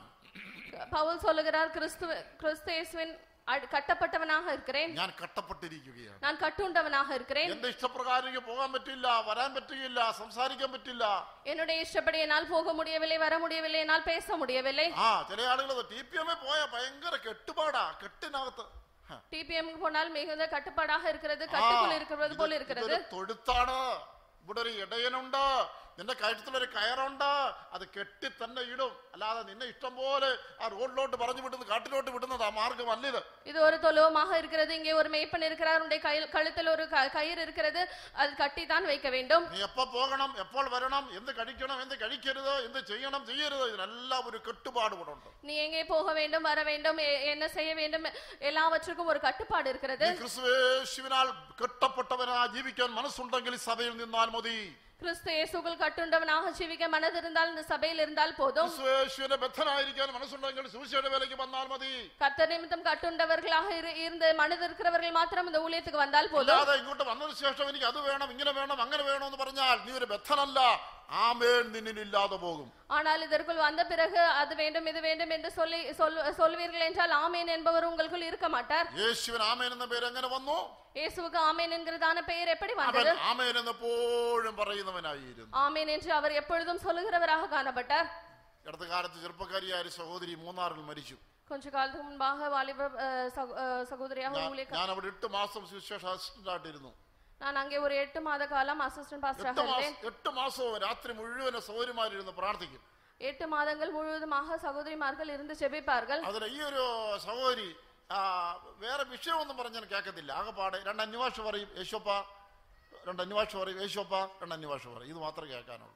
ஒரு சகோதரி ஜெபிக்கும் போது அஹ், ரெண்டு அந்நிய பாஷை பேசுவார் ஏசப்பா என்று சொல்வார் பின் மீண்டுமாக அந்நிய பாஷை பேசுவார் வேற ஒன்றுமே கேட்க முடியாது ഒരു പതിനൊന്ന് മണി മുതൽ നാല് മണി വരെ യേശോപ്പ അന്യഭാഷ യേശോപ്പ അന്യഭാഷ பதினொன்று ம- பதினொன்று மணி முதல் நான்கு மணி வரை இதே காரியங்கள் தான் சொல்வார் അതുകൊണ്ട് ഞാൻ അവൾക്ക് യേശോപ്പ എന്നങ്ങ് പേരിട്ടു അങ്ങനെ യേശുവപ്പ എല്ലാവർക്കും പേരിട്ടെ. യേശുവിന്റെ ജീവകാലം മുഴുവനും ആമേൻ ആമേൻ ആമേൻ ആമേൻ എന്ന് പറഞ്ഞതിനാൽ യേശു ആമേൻ എന്ന് പേര് വന്നു. യേശു ജീവകാലം മഹാ ആമേൻ ആമേൻ എന്ന് സ്വന്നപടിനാൽ യേശുക്ക് ആമേൻ എന്ന് പേര് വന്നത്. സ്വയമില്ലാത്തവർക്ക് ആമേൻ എന്ന പേരുണ്ടാകുകയുള്ളൂ. சுயம் இல்லாதவர்களுக்கு தான் ஆமேன் என்று பெயர் உண்டாக முடியும் വിശ്വാസികളെ നിങ്ങളിൽ ആമേൻ ഉണ്ടായിരിക്കട്ടെ விசுவாசிகளே உங்களில் ஆமேன் என்பவர் இருப்பாராக ശുശ്രൂഷകരെ നമ്മളിൽ ആമേൻ ഉണ്ടായിരിക്കട്ടെ ஊழியர்களே நமக்குள்ள அஹ், ஆமேன் என்பவர் இருப்பாராக നമ്മുടെ ഉള്ളിൽ ആമേൻ വസിക്കുന്ന ലക്ഷണം എന്താണെന്ന് ചോദിച്ചാൽ നാം എപ്പോഴും ആമേൻ പറയുന്നവരായിരിക്കും நமக்குள் ஆமேன் என்பவர் ஜீவிப்பதற்கான அடையாளம் என்ன என்று கேட்டால் நாம் எப்பொழுதுமே ஆமேன் என்று சொல்லுகிறவர்களாக இருப்போம் നടത്തിപ്പിന് കീഴ്പ്പെടുന്നവരായിരിക്കും நடத்திப்புக்கு கீழ்ப்படுகிறவர்களாக இருப்போம் ഞാൻ മുമ്പേ പറഞ്ഞതുപോലെ എറണാകുളത്ത് ഒരു വലിയ വിശ്വാസിയായിട്ട് ഞാൻ സംസാരിച്ചു. അദ്ദേഹത്തിന്റെ ആ, ഏഴ് വയസ്സിൽ പാസ്റ്റർ പോളിനെ കണ്ടിട്ടുണ്ട്. எர்ணாகுளத்தில் ஒரு விசுவாசியோடு கூட நான் அஹ், பேசியிருக்கிறேன் ஏழு வயதில் அவர் பாஸ்டர் பால் அவர்களை பார்த்திருக்கிறார் കോട്ടയത്ത് പാസ്റ്റർ പോൾ വന്നപ്പോൾ ഏഴ് വയസ്സിൽ താൻ അതിന് അടുത്ത് പോയിരുന്നൊക്കെ നല്ല ഓർമ്മയുണ്ടെന്ന് പറഞ്ഞു கோட்டயத்தில் பாஸ்டர் பால் அவர்கள் வந்திருக்கும் போது அஹ், ஏ- ஏழு வயதில் அவர் போய் பக்கத்தில் இருந்ததாக அவருக்கு അപ്പോൾ ஞாபகம் അന്നൊരു இருக்கிறது സംഭവത്തെ ഒന്ന് രണ്ട് സംഭവങ്ങൾ പറഞ്ഞു ഒരു സംഭവം ഞാൻ പറയുകയാണ് ஒன்று இரண்டு சம்பவங்களை அவர் சொன்னார் ஒரு சம்பவத்தை അവിടെ நான் ഒരിടത്ത് சொல்கிறேன் ഒരു മീറ്റിംഗ് നടത്താനായി നമ്മളെ ക്ഷണിച്ചു அவரை மீட்டிங் நடத்தும்படியாக ശുശ്രൂഷകരെ ക്ഷണിച്ചു ഊഴിയർകളെ അളത്താർകൾ സാധാരണ ആ കാലങ്ങളിൽ ബന്ധുക്കോസുകാരെ കണ്ണേ കണ്ടുകൂടാത്ത കാലം ആരും മീറ്റിംഗ് നടത്താൻ ക്ഷണിക്കത്തില്ല பெந்தகோஸ்துக்காரர்களை கண்களால் கூட பார்க்க முடியாத அந்த ஒரு அஹ், பா- பார்க்க விடாத ஒரு காலமாக இருந்தது மீட்டிங் யாரும் அழைக்க അങ്ങനെ மாட்டார்கள் ക്ഷണം കിട്ടിയപ്പോൾ വേറെക്കാർക്ക് വലിയ സന്തോഷം പോകാൻ ഭയങ്കര ഉത്സാഹം அப்படி ஒரு தருணம் கிடைத்த போது அவருக்கு மிகுந்த சந்தோஷமாக இருந்தது போகும்படியாக மிகவும் அஹ், அஹ், சந்தோஷப்பட்டார் പാസ്റ്റർ പോളിനോട് ചെന്ന് പറഞ്ഞു ഇങ്ങനെ മീറ്റിങ്ങിന് നമ്മൾ നിങ്ങളുടെ ചെല്ലാൻ വിളിച്ചിരിക്കുക നിങ്ങൾ പോകട്ടെ എന്ന് പറഞ്ഞു பாஸ்டர் பால் அவர்களிடத்தில் சென்று இப்படி மீட்டிங்க்கு எங்களை அழைக்கிறார்கள் போக போக- போகலாமா என்று கேட்டார் പാസ്റ്റർ പോളിന് ഇങ്ങനെ ഇങ്ങനെ കൈവച്ച് ഇങ്ങനെ പ്രാർത്ഥിക്കും പ്രാർത്ഥിച്ചുകൊണ്ടിരിക്കുമ്പോൾ ഈ വിരൽ ഇങ്ങനെ അനങ്ങുവാണെങ്കിൽ ഓക്കെ അനങ്ങിയില്ലെങ്കിൽ പോക്കാം பாஸ்டர் பால் அவர்கள் இப்படி கை வைத்து നടത്തിപ്പോ നടത്തിപ്പോ വന്നാൽ ഈ വിരൽ ഇങ്ങനെ അനങ്ങും പോലും ആ. அப்படி கை வைத்து செவிப்பார் நடத்திப்பு வரும் என்றால் இந்த கடைசி விரலை அசைப்பார் ഒത്തിരി നേരം ഇങ്ങനെ ഇരുന്നിട്ട് വിരൽ അനങ്ങുന്നൊന്നുമില്ല கொஞ்ச நேரமாக ஜெபித்தும் விரலானது அப்படி வரவில்லை പാസ്റ്റർ പോള് പറഞ്ഞു എനിക്ക് നടത്തിപ്പില്ലല്ലോ നിങ്ങൾ പോകണ്ട എന്ന് പറഞ്ഞു பாஸ்டர் பால் அவர்கள் சொன்னார்கள் எனக்கு நடத்திப்பில் இல்லை நீங்கள் போக வேண்டாம் പക്ഷെ അങ്ങനല്ല അവര് നമ്മളെ വിളിച്ചതാ നമ്മ- അയ്യോ അവിടൊക്കെ നമുക്കൊരു ചാൻസ് കിട്ടുക എന്ന് പറഞ്ഞാൽ നമുക്ക് സാധാരണ കാര്യമല്ല നമ്മളെ വിളിച്ചതാ നമ്മൾ വിളിച്ചിട്ടാ പോകുന്നത് അയ്യോ അവര് വിളിച്ചതാ നമ്മൾ പോകേണ്ടതാ ആ ആ എന്നെല്ലാം പറഞ്ഞു അപ്പം പാസ്റ്റർ പോള് ആ എങ്കിൽ പോ എന്ന് പറഞ്ഞു நமக்கு அவர்கள் அழைப்பு கொடுத்திருக்கிறார்கள் அந்த இடத்துல எல்லாம் தருணம் கிடைப்பதே மிகவும் அஹ், கடினமானதாக இருக்கிறது என்று சொன்னார் அஹ், அப்படி என்றால் நீ போ என்று சொன்னார் എല്ലാവരും നല്ല വെള്ളം വന്ന ആകപ്പാടെ വെ- വസ്ത്രമൊന്നും ഇല്ല ഉള്ളതൊക്കെ വെളുപ്പിച്ച് അങ്ങനെ മീറ്റിങ്ങിനായിട്ട് പോയി நன்றாக வெண்வஸ்திரம் தரித்து அந்த மீட்டிங்க்கு போனார்கள் ആ, അവരെന്ത് ചെയ്തു ഉപദ്രവിക്കാനായിട്ടിരുന്നായിരുന്നു அவர்கள் உபத்திரவப்படுத்தும்படியாக இருந்தார்கள் ചുണ്ണാമ്പ് ചുണ്ണാമ്പിനകത്ത് ആ, പിന്നെ ആ, എന്താ, മഞ്ഞൾ കൂടെ കലക്കിയിട്ട് അതുമായിട്ട് മരത്തിന് മുകളിൽ കയറി ഇരുന്ന് പോയവരുടെ ദേഹത്തൂടെ എല്ലാം ഊറ്റി കൊടുത്തു சுண்ணாம்புக்குள் ம- மஞ்சள் கலக்கி அஹ், மரத்தின் மேலிருந்து போனவர்கள் மேலெல்லாம் ஊற்றிவிட்டார்கள் വെള്ള വസ്ത്രം മുഴുവൻ ഏത് രീതിയില്ല നമുക്ക് ചിന്തിച്ചു നോക്കാം வெள்ள வெண்வஸ்திரம் முழுவதுமாக எப்படி இருந்திருக்கும் என்று சிந்தித்து பாருங்கள் യോഗം നടത്താൻ വിളിച്ചതല്ല അപമാനിക്കാൻ വിളിച്ചതായിരുന്നു அவர்களை கூட்டம் நடத்தும்படியாக அழைக்கவில்லை அவமானப்படுத்தும்படியாக ആ அழைத்திருந்தார்கள் നിലയിൽ അവർ അപമാനിതരായ ബേത്തോമി തിരിച്ചു വന്നു அவமானப்பட்டவர்கள் திரும்பி வந்தார்கள் രാഷ്ട്രപോള് പറഞ്ഞു എനിക്ക് നടത്തിയിട്ടില്ലെന്ന് ഞാൻ പറഞ്ഞില്ലായിരുന്നോ பாஸ்டர் பால் அவர்கள் சொன்னார்கள் இது நடத்திப்பு அல்ல என்று நான் சொல்லியிருந்தேனே ഈ വേലയിൽ നടത്തിപ്പുകാർ പറയുന്നതിനാൽ ആമയൻ പറയുന്നുവെങ്കിൽ ദൈവത്തിന്റെ ആലോചനയ്ക്ക് നാമയം പറയുന്നെങ്കിൽ നമ്മുടെ ഉള്ളിൽ ആമയനായ ക്രിസ്തു വസിക്കും இந்த இந்த ஊழியத்தில் நடத்திப்புக்காரர்கள் சொல்வதற்கும் தேவனுடைய ஆலோசனைக்கும் ஆமேன் என்று நாம் சொல்லுவோம் என்றால் ஆமேன் என்று சொல்லுகிறதான கிறிஸ்து நமக்குள் இருப்பார் മാത്രമല്ല ക്രി- ആമേൻ എന്നുള്ള എന്നുകൊണ്ട് ഉദ്ദേശിക്കുന്നത് എന്താണെന്ന് ചോദിച്ചാൽ ஆமேன் என்று அஹ், சொல்வதற்கான அர்த்தம் மற்றொரு அர்த்தம் என்ன സകലവും ക്രിസ്തുവിൽ നിന്ന് വരികയും തിരിച്ച് ക്രിസ്തുവിലേക്ക് പോകുന്നു അതുകൊണ്ടാണ് അവൻ ആമേൻ എന്ന പേര് சகலமும் கிறிஸ்துவிடத்திலிருந்து வருவதும் கிறிஸ்துவின் இடத்துக்கு திரும்பி போவதுமாக இருக்கிறது அதனால்தான் அது ஆமேன் என்று சொல்லப்படுகிறார் റോമാലേഖനം പതിനൊന്നാം അധ്യായം ரோமர் பதினொன்னாம் அதிகாரம் അതിന്റെ മുപ്പത്തിമൂന്ന് മുതൽ വായിക്കുമ്പോൾ முப்பத்தி மூன்றாம் வசனம் முதல் வாசிக்கும் போது ദൈവത്തിന്റെ ധനം ജ്ഞാനം അറിവ് ഇതെല്ലാം പറഞ്ഞു വന്നിട്ട് ഏറ്റവും ഒടുവിൽ അതിന്റെ നു- അതിന്റെ മുപ്പത്തി ആറാം വാക്യത്തിൽ പറയുകയാണ് സകലവും അവനിൽ നിന്നും അവനാലും അവക്കിലേക്കുമാകുന്നു അവന് എന്നേക്കും മഹത്വം. ആമേൻ. தேவனுடைய ஐஸ்வர்யம் ஞானம் அறிவு என்பவைகள் எல்லாம் எல்லாமே அவரிடத்திலிருந்து வரப்பட்டு கடைசியாக முப்பத்தி ஆறாவது வசனத்தில் சொல்லப்படும் போது சகலமும் அவராலும் அவர் மூலமாயும் அவருக்காகவும் இருக்கிறது அவருக்கே என்றென்றைக்கும் மகிமை உண்டாதாக ஆமேன் എന്തുകൊണ്ടാണ് ക്രിസ്തു ആമേൻ എന്ന പേരുള്ളവനായത് எதற்காக கிறிஸ்து ஆமேன் என்ற பெயருள்ளவராக இருக்கிறார் എല്ലാം അവങ്കിൽ നിന്നും വരുന്നു എല്ലാം അവങ്കിലേക്ക് പോകുന്നു எல்லாம் அவரிடத்திலிருந்து வருகிறது எல்லாம் அவருக்கே திரும்பி போகிறது ഇന്നാ നിങ്ങൾക്ക് എനിക്ക് എന്തെല്ലാം ഉണ്ടോ അതെല്ലാം അവങ്കിൽ നിന്ന് വന്നതാണ് நமக்கு உங்கள் உங்களுக்கும் எனக்கும் என்னெல்லாம் இப்பொழுது இருக்கிறதோ அதெல்லாம் அவரிடத்திலிருந்து வந்தது ഇതെല്ലാം കിട്ടിയെന്ന് വിചാരിച്ച് നമുക്ക് സ്വന്തമൊന്നുമില്ല ഇനി വീണ്ടും അവങ്കിലേക്ക് പോകാനുള്ളതുമാണ് இதெல்லாம் கிடைத்தது நமக்கு சொந்தம் என்றல்ல அதெல்லாம் மீண்டுமாக அவர் கைக்கே திரும்பி போக வேண்டும் അതുകൊണ്ടാണ് ദാവീദ് ഒരിക്കൽ ഇപ്രകാരം പറയുകയുണ്ടായി தாவீது ஒரு முறை இப்படியாக சொன்னார் ഒന്നാം ദിനവൃത്താന്തം ഇരുപത്തി ഒൻപതാം അധ്യായം முதலாம் நாளா நாளாகமும் இருபத்தி ஒன்பதாம் அதிகாரம் പതിനാലാമത്തെ വാക്യത്തിൽ വായിക്കുമ്പോൾ பதினாறாவது வசனத்தில் வாசிக்கும் போது ആലയമണിക്കായി ദാ- ആ, ധാരാളം പൊരുൾക്കള് ദാവീദ് ശേഖരിച്ചു വെച്ചിരുന്നു ஆலயத்துக்கு ஆலயத்தின் கட்டட வேலைக்காக ஆ, அநேக பொருட்களை தா- தாவீது சவதரித்து வைத்திருந்தார் ദൈവത്തിന് ജനവും ധാരാളം കാര്യങ്ങൾ ആലയം ആലയത്തിനായിട്ട് സ്വ- സ്വരൂപിച്ചു വെച്ചിരുന്നു ஏராளமான காரியங்களை அவன் ஆலயத்தின் வ- வேலைக்காக சவதரித்து வைத்திருந்தான் അതിനെക്കുറിച്ച് അവൻ എന്താണ് പ- ഇരുപത്തി മൂ- ഇരുപത്തി ഒമ്പതിന്റെ പതിനാലിൽ എന്താണ് പറയുന്നത് இருபத்தி ஒன்பதாம் அதிகாரம் பதினாறாவது வசனத்தில் அவன் அதை குறித்து என்ன சொல்லுகிறான் ഇത്ര മനഃപൂർവ്വമായി ദാനം ചെയ്യുവാൻ പ്രാപ്തരാകുവാൻ ഞാനാർ എന്റെ ജനവും എന്തുള്ളൂ ഇപ്പടി മനപൂർവമായി കൊടുക്കും ത്രാണി ഉണ്ടാവതற்கு നാനേ മാത്രം ജനങ്ങളെ മാത്രം. സകലവും നിങ്ങൾ നിന്നല്ലോ വരുന്നത് നിന്റെ കയ്യിൽ നിന്ന് വാങ്ങി ഞങ്ങൾ നിനക്ക് തന്നതേ ഉള്ളൂ. എല്ലാം ഉമ്മാൽ ഉണ്ടാണത്. ഉമ്മുടെ ഉമ്മത കരത്തിൽ വാങ്ങി ഉമ്മക്ക് കൊടുത്തു.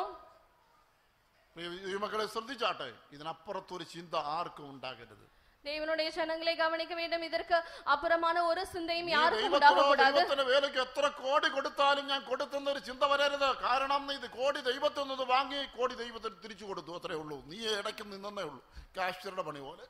நீங்கள் தேவனுடைய வேலைக்கு அஹ், கோ- கோடி ரூபாய் கொடுத்தாலும் அஹ், தே- அ- அதில் ஒன்- ஒன்றும் அஹ், அதை யோசிக்க கூடாது தேவனிடத்திலிருந்து வாங்கி தேவனுக்கே கொடுக்கிறீர்கள் നിങ്ങൾ ഞാനും കൊടുത്തത് നമ്മുടേതല്ല അവങ്കിൽ നിന്ന് വാങ്ങിയിട്ട് അവന് തിരിച്ചു കൊടുത്തു நீங்களும் நானும் கொடுத்தது நம்முடையதல்ல தே- கர்த்தரிடத்திலிருந்து வாங்கி கர்த்தருக்கே திரும்பி கொடுக்கிறோம் അത്രേ ഉള്ളൂ ആ ആ വെളിപ്പാട് നമ്മുടെ ഉള്ളിലുണ്ടെങ്കിൽ ആമേൻ നമ്മുടെ ഉള്ളിലുണ്ട് அந்த வெளிப்படுத்தல் நமக்கு இருக்கும் என்றால் ஆமேன் என்பவர் நமக்குள் இருப்பார் അതല്ലാതെ ഞാൻ കൊടുക്കുന്നു ഞാൻ ചെയ്യുന്നു ഞാൻ ചെലവഴിക്കുന്നു എന്ന് പറഞ്ഞാൽ നമ്മൾ ആമേൻ വസിക്കുന്നില്ല நான் கொடுக்கிறேன் நான் செலவு செய்கிறேன் என்று நாம் நாம் நினைப்போம் என்றால் நமக்குள் ஆமேன் என்பவர் வாசம் பண்ணுகிறதில்லை ഞാൻ പാടുപെട്ടു ഞാൻ കഷ്ടപ്പെട്ടു ഞാൻ പട്ടിണി കിടന്നു ഞാൻ ചെലവഴിച്ചു ഞാൻ അങ്ങനെ ചെയ്തു നിന്നെ സഹിച്ചു പാട് സഹിച്ചു എന്ന് പറയുന്ന ആമേനില്ല நான் பாடுபட்டேன் நான் கஷ்டப்பட்டேன் நான் அப்படி சகித்துக் கொண்டேன் இப்படி எல்லாம் சொல்வீர்கள் என்றால் உங்கள் ஆமேன் என்பவர் இல்லை പൗലൂസ് പറയും നിങ്ങൾ എല്ലാവരെക്കാളും ഞാൻ ഏറ്റവും അധ്വാനിച്ചിരിക്കുന്നു பவுல் சொல்லுகிறார் நான் எல்லார் எல்லாரை காட்டிலும் அதிகமாக பாடுபட்டேன் പക്ഷെ ഞാനല്ല പാടുപെട്ടത് ஆனால் நான் அல்ல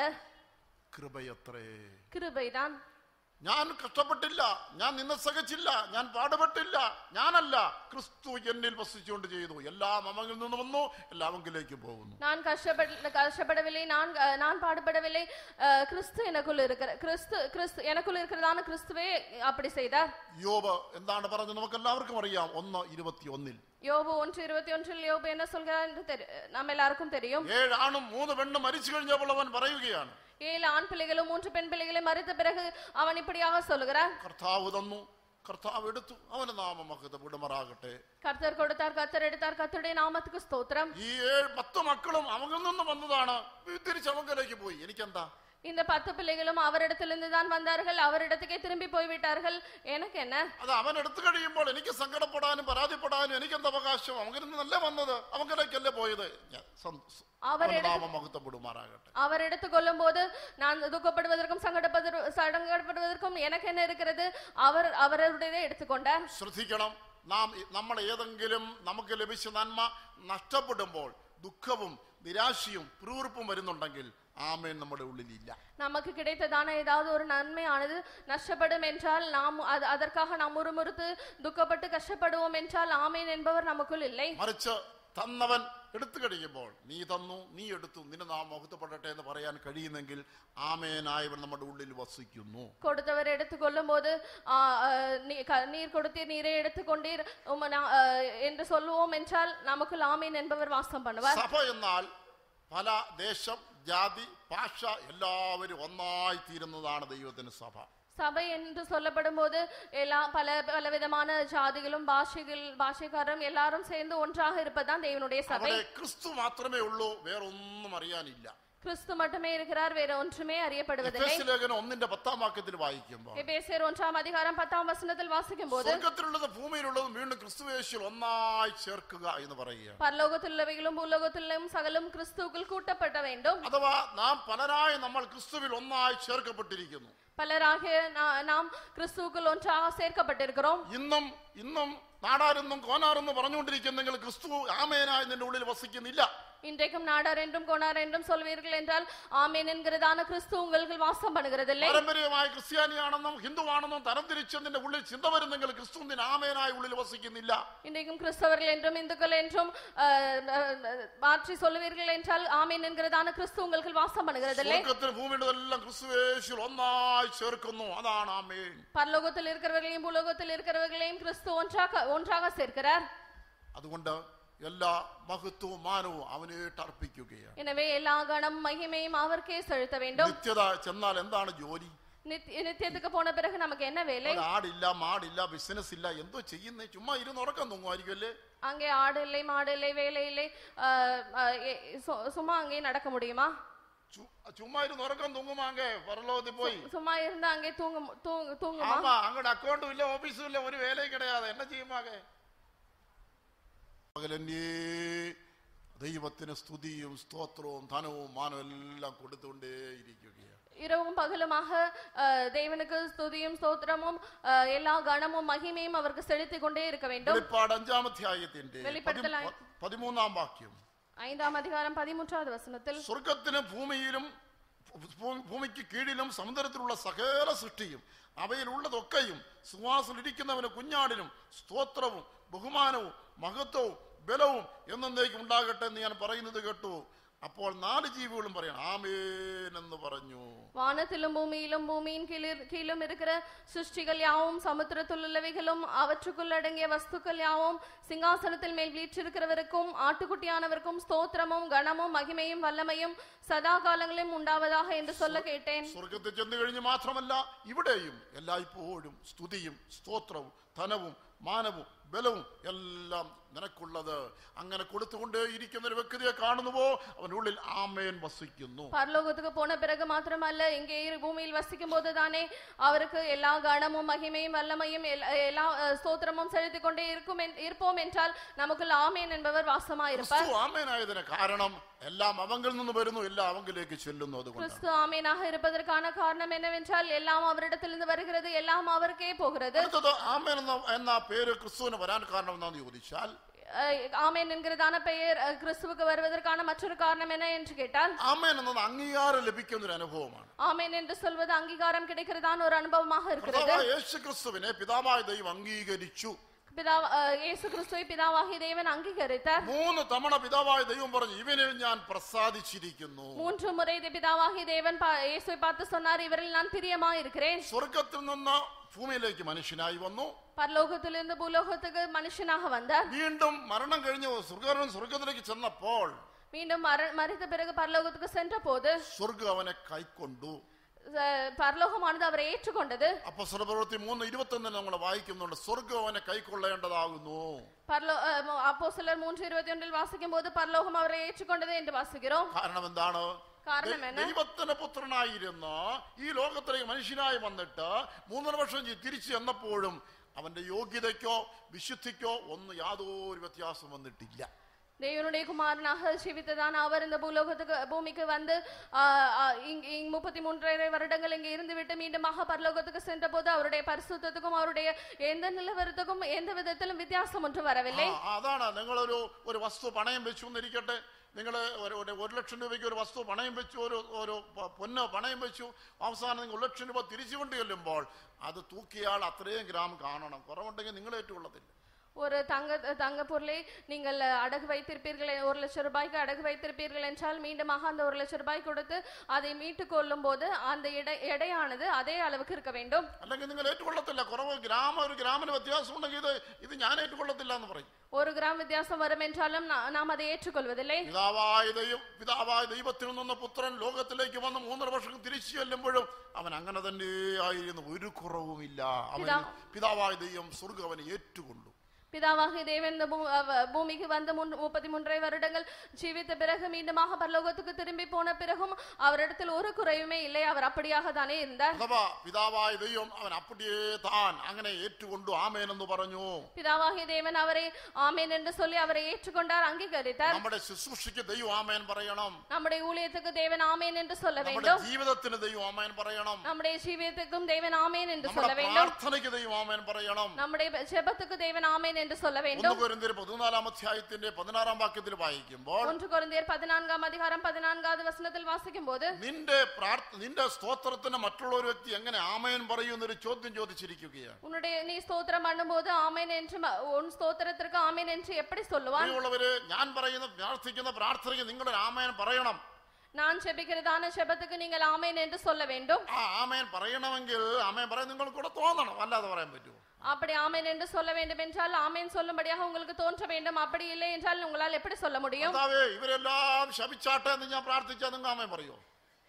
க- கர்த்தாவே இவர்கள் எல்லாம் ச- ശ- ശ- ശപിക്കണമേ എന്ന് சபிக்க പറഞ്ഞാൽ ആമേൻ வேண்டும் என்று நான் சொல்லுவேன் என்றால் நீங்கள் ஆமேன் என்று எப்படி சொல்லுவீர்கள் എന്റെ പ്രാർത്ഥന ദൈവഹിത പ്രകാരവും ദൈവത്തിന്റെ പ്രസാദവും നിങ്ങൾ അനുഗ്രഹവുമാണെങ്കിൽ നിങ്ങൾ ആമേൻ പറയാതെ പറഞ്ഞു പോകും അല്ലെങ്കിൽ ആമേൻ പറയാൻ തോന്നുകയും என்னுடைய ஜெபமானது தேவனுடைய சுத்தத்தின்படி இருக்கும் என்றால் ஆசீர்வாதமான ஜெபமாக இருக்கும் என்றால் நீங்கள் ஆமேன் என்று சொல்வீர்கள் இல்லை என்றால் எப்படி சொல்ல முடியும் ഇന്നും സഭയിൽ ചിലര് സഭയിൽ എല്ലാവരും പ്രാർത്ഥിപ്പിച്ചു കഴിഞ്ഞാൽ അല്ലേ ഇപ്പൊ ആരാ ഒരാളെ മാത്രമേ പ്രാർത്ഥിച്ചുള്ളൂ എല്ലാവരും പ്രാർത്ഥിപ്പിച്ച എന്നാൽ ഏഴ് മണി ആയാലും പോകാൻ പറ്റത്തില്ല சபையில் எல்லாரையுமே ஜெபிக்க வைப்போம் என்றால் ஏழு மணி ஆனாலும் திரும்பி போக முடியாது എല്ലാവരും റെപ്രസെന്റേറ്റീവായി ഒരാൾ പ്രാർത്ഥിച്ചു அதனால் எல்லாருக்கும் அஹ், நடுவராக இருந்து ஒருவர் നിങ്ങളുടെ ஜெபித்தார் എല്ലാവരുടെ ആഗ്രഹങ്ങൾ എന്താണ് ആവശ്യങ്ങൾ എന്താണ് നിങ്ങളുടെ വേണ്ട അനുഗ്രഹങ്ങൾ എന്താണ് എല്ലാവരും ഒരാൾ അതിന് റെപ്രസെന്റേറ്റീവ് പ്രാർത്ഥിച്ചു പ്രാർത്ഥി- അത് പ്രാർത്ഥിച്ച മാമൻ പറഞ്ഞോ எல்லாருடைய அஹ், வாஞ்சைகள் என்ன விருப்பங்கள் என்ன எல்லாவற்றையும் சேர்த்து ஒருவர் ஜெபித்தார் அவர் ஜெபித்த போது ஆமென் என்று சொன்னீர்களா അമ്മയും പറയാത്തവിടെ കാണും ചിലർ ആമയും പറയത്തില്ല சிலர் ஆமென் என்று சொல்கிறதில்லை ചിലർ ആമയും പറയത്തില്ല ചിലർ ഉം. ഒന്ന് മോളും അത്ര തന്നെ சி- சிலர் ஆமென் என்று சொல்கிறதில்லை உம் என்று சொல்லுகிறார்கள் നീ ആമയം പറഞ്ഞില്ലെങ്കിൽ ആ വ്യക്തി പ്രാർത്ഥിച്ച പ്രാർത്ഥന വാതകത്തിൽപ്പെട്ടതൊന്നും നിനക്ക് ലഭിക്കുകയില്ല நீங்கள் ஆமென் என்று சொல்லவில்லை என்றால் அந்த நபர் ஜெபித்ததான அஹ், ஜெபத்தின் மூலமாக கிடைக்கிறதான ஆசீர்வாதங்கள் ஒன்றும் உங்களுக்கு கிடைக்காது നീ നന്നായി ഹൃദയത്തിന്റെ ആഴത്തിൽ നിന്ന് ആമേൻ ദൈവമേ ആ സഹോദരൻ ആ സഹോദരി ആ മൂപ്പത്തി ആ പാസ്റ്റർ പ്രാർത്ഥിച്ച കാര്യങ്ങളെല്ലാം അങ്ങനെ തന്നെ ചെയ്തു തരണമേ நீங்கள் மனப்பூர் ആമേൻ അർത്ഥം நீங்கள் மனப்பூர்வமாக அந்த சகோதரன் சகோதரி அந்த முப்பத்தி ஜெபித்ததான ஜெபத்திற்கு ஜெபம் எல்லாம் நீர் அங்கீகரிக்க வேண்டும் என்று ஆமேன் என்று சொல்ல இருக்க வேண்டும் ആരെങ്കിലും ആമേൻ പറയാതിരുന്നെങ്കിൽ ആ പറയപ്പെട്ട അനുഗ്രഹം ഒന്നും നിങ്ങൾക്ക് ലഭിക്കുകയില്ല അത് മനസ്സിലാക്കിയിരിക്കണം யாராவது ஆமேன் என்று சொல்லவில்லை என்றால் ஆஹ், அங்கே சொல்ல அவர் சொ- ஜெபித்ததான ஒரு ஆசீர்வாதங்களும் உங்களுக்கு சொந்தமானதாக இருக்காது മാത്രമല്ല നമ്മുടെ പ്രാർത്ഥനയും നമ്മുടെ ജീവിതവും മറ്റും ആമേൻ പറയത്തക്ക വിധത്തിലായിരിക്കണം நம்முடைய ஜெபமும் நம்முடைய ஜீவியமும் மற்றவர்கள் ஆமேன் என்று சொல்லத்தக்கதான அளவுக்கு இருக்க வேண்டும் ശുശ്രൂഷയ്ക്ക് ദൈവം സ്വർഗം ആമേൻ പറയണം நம்முடைய நாம் செய்கிறதான ஊழியங்களுக்கு பரலோகமானது ആമേൻ എന്ന് சொல்ல வேண்டும் ഞാൻ ഇന്ന് പ്രസംഗിക്കുന്ന പ്രസംഗത്തിനും ദൂതിനും സ്വർഗം ആമേൻ പറഞ്ഞില്ലെങ്കിൽ എനിക്ക് വട്ടപൂജ്യം ഒന്നും കിട്ടത്തില്ല நான் இங்கே ப- பண்ணுகிறதான பிரசங்கத்துக்கு பரலோகமானது ஆமேன் என்று சொல்லவில்லை என்றால் எ- எல்லாமே பூஜ்யமாக இருக்கும் പാസ്റ്റർ എ സി തോമസ് ഒരിക്കലും ഇങ്ങനെ പറയുണ്ടായി ഒരു ചീഫ് പാസ്റ്റർ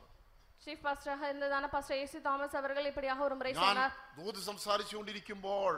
நான் அஹ், தூது பிரசங்கம் பண்ணி கொண்டிருக்கும் போது എന്റെ പുറകിൽ നിന്നുകൊണ്ട് ആമേൻ ആമേൻ എന്ന് എന്റെ കർത്താവ് പറയുന്നത് ഞാൻ പലപ്പോഴും കേട്ടിട്ടുണ്ട് என் தே- எனக்கு பி- பின்னால் இருந்து என் தேவன் அஹ், ஆமேன் ஆமேன் என்று சொல்வதை நான் பல வேளைகளில் கேட்டிருக்கிறேன் ശുശ്രൂഷകര് നിങ്ങൾ ചെയ്യുന്ന ശുശ്രൂഷയ്ക്ക് അടുത്ത് വന്ന കർത്താവ് ആമേൻ പറയുന്നുണ്ടോ ஊழியர்களே நீங்கள் அஹ், செய்கிறதான ஊழியத்திற்கு தேவன் பக்கத்தில் இருந்து ஆமேன் என்று சொல்லுகிறாரா നിന്റെ സാക്ഷ്യത്തിന് നിന്റെ പ്രാർത്ഥനയ്ക്ക് നിന്റെ ശുശ്രൂഷയ്ക്ക് കർത്താവ് അടുക്കുന്ന ആമേൻ പറയുന്നുണ്ടോ நீங்கள் சொல்லுகிறதான சாட்சிக்கும் ஜெபிக்கிறதான ஜெபத்துக்கும் செய்கிறதான ஊழியத்துக்கும் அஹ், ப- தேவன் பக்கத்தில் இருந்து ஆமேன் என்று சொல்லுகிறாரா എപ്പോഴും അല്ലെങ്കിൽ ചില സന്ദർഭങ്ങളിലും ഞാൻ എന്റെ കർത്താവിന്റെ ആമേൻ ശബ്ദം കേട്ടിട്ടുണ്ട് எப்பொழுதும் இல்லை என்றாலும் சில வேளைகளில் சில சந்தர்ப்பங்களில் நான் என் தேவனுடைய ஆமேன் என்கிறதான சத்தத்தை അത് கேட்டிருக்கிறேன் കേൾക്കാൻ വേണ്ടി ഞാൻ പറയും കർത്താവേ എന്റേതായ ഒന്നും വായിൽ നിന്നും വരരുത്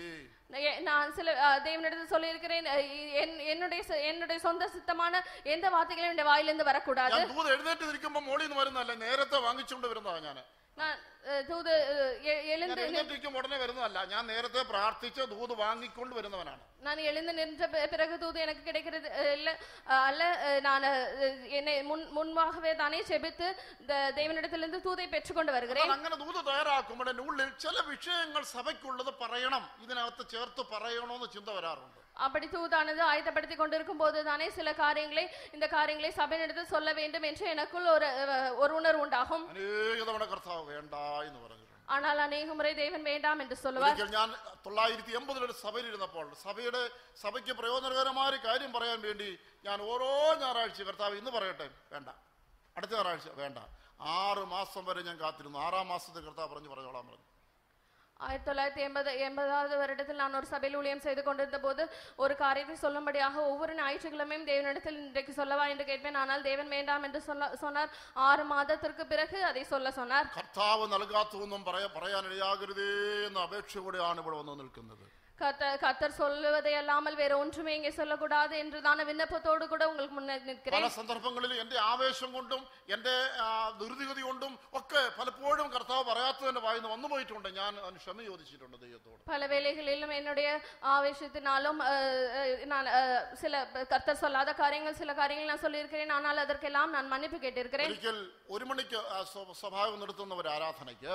ஒரு ஒ- ஒரு ஒரு முறை ஒரு மணிக்கு ச- அஹ், ஆராதனை முடிக்க வேண்டியதான ஒரு ஆ- ஒரு நேரத்தில் പന്ത്രണ്ട് അമ്പതായി പിന്നെ ദൂത് തീർന്നു பன்னிரண்டு ஐம்பதான போது என்னுடைய ഞാൻ தூதானது വിചാരിച്ചു, முடிந்தது ഏതായാലും പത്ത് മിനിറ്റ് കൂടെ ഉണ്ടല്ലോ അതുകൊണ്ട് ഈ പറഞ്ഞ കാര്യങ്ങളെല്ലാം ഒന്ന് റിപ്പീറ്റ് ചെയ്തേക്കാന്ന് വിചാരിച്ചു அஹ், பத்து நிமிடங்கள் இருக்கிறபடினால் சொன்னதான காரியங்களை திரும்பவும் சொல்லலாம் என்று சொன்னேன் അവസാനം ഞാൻ മഹാമണ്ടത്തരം പറഞ്ഞിട്ടിരിക്കേണ്ടായിട്ട് വന്നു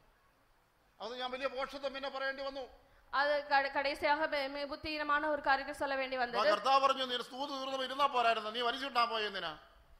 தூதை விட அதிகமாக காரியங்களை நீ எதற்கு சொல்ல போனா என்று தேவன் கேட்டார் தூது தீர்ந்தபோது நீ உட்காரவில்லை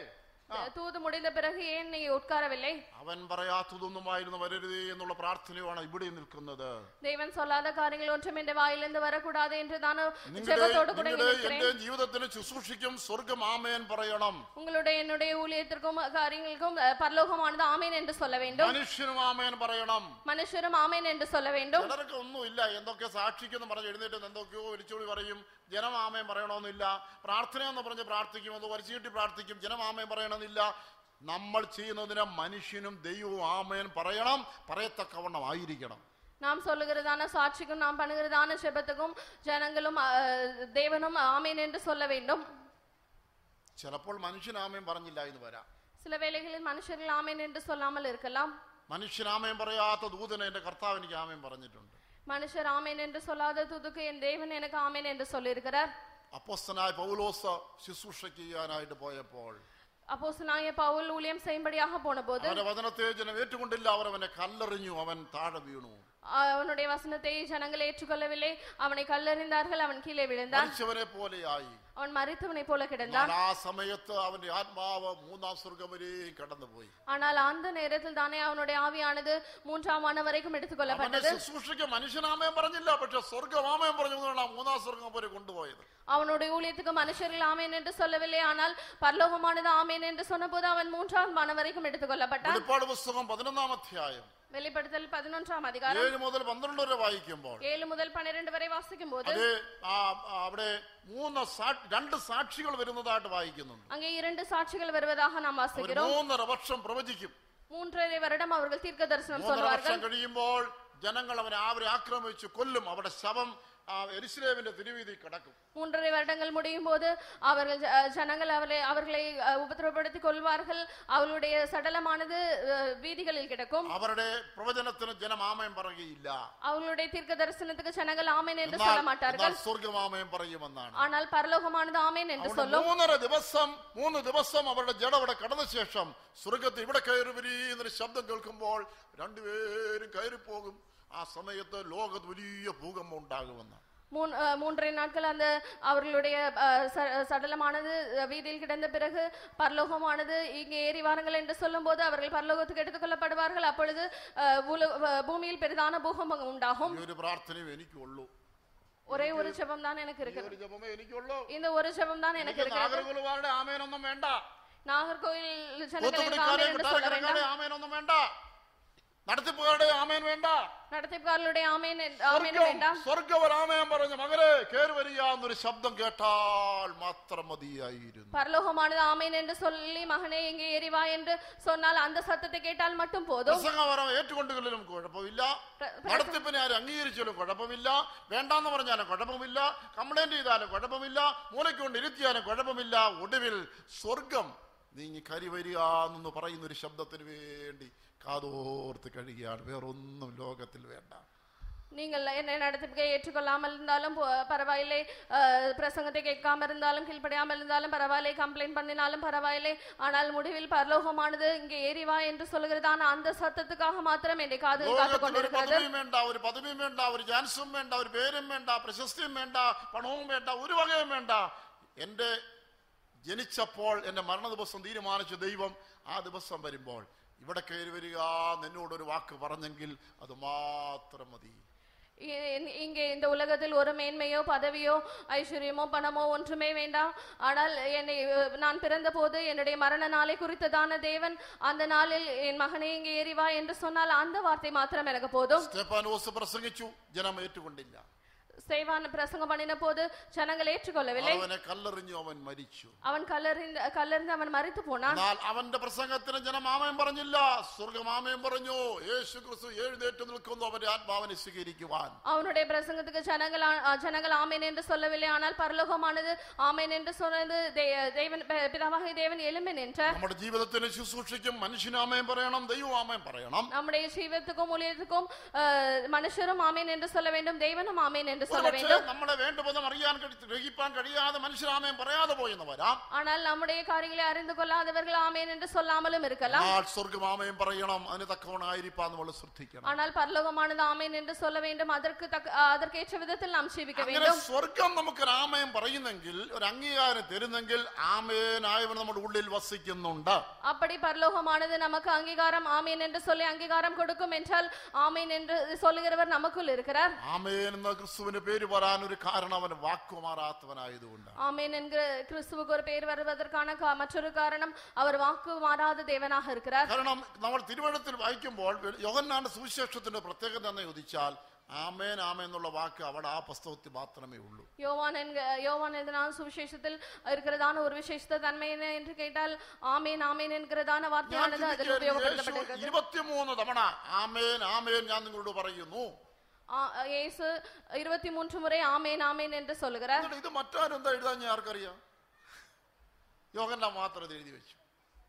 யோவான் യോഹന്നാന്റെ மாத்திரமே വിശേഷത്തിൽ ഇരുപത്തിമൂന്ന് പ്രാവശ്യം ആമേൻ ആമേൻ ഞാൻ നിങ്ങളോട് പറയുന്നു സത്യമാണ് സത്യമാണ് നിങ്ങളോട് പറയുന്നു എന്ന് വായിക്കുന്നു ஆ, யோவான் சுவிசேஷத்தில் தானே ஆமேன் என்று அதிக முறை இருபத்தி மூன்று முறை வாசிக்கிறோம் மெய்யாகவே மெய்யாகவே சொல்லுகிறேன் என்றும் வாசிக்கிறோம் അതിന്റെ അർത്ഥം എന്താണ് അവന്റെ വാക്കുറപ്പുള്ളതാണ് അത് മാറാത്തതാണ് ആർക്കും വിശ്വസിക്കാം ആർക്കും ആശ്രയിക്കാം அதன் அர்த்தம் என்ன என்றால் அந்த வார்த்தையானது உறுதியானதாக இருக்கிறது அதை யாரும் விசுவாசிக்கலாம் யாரும் அதை நம்பலாம்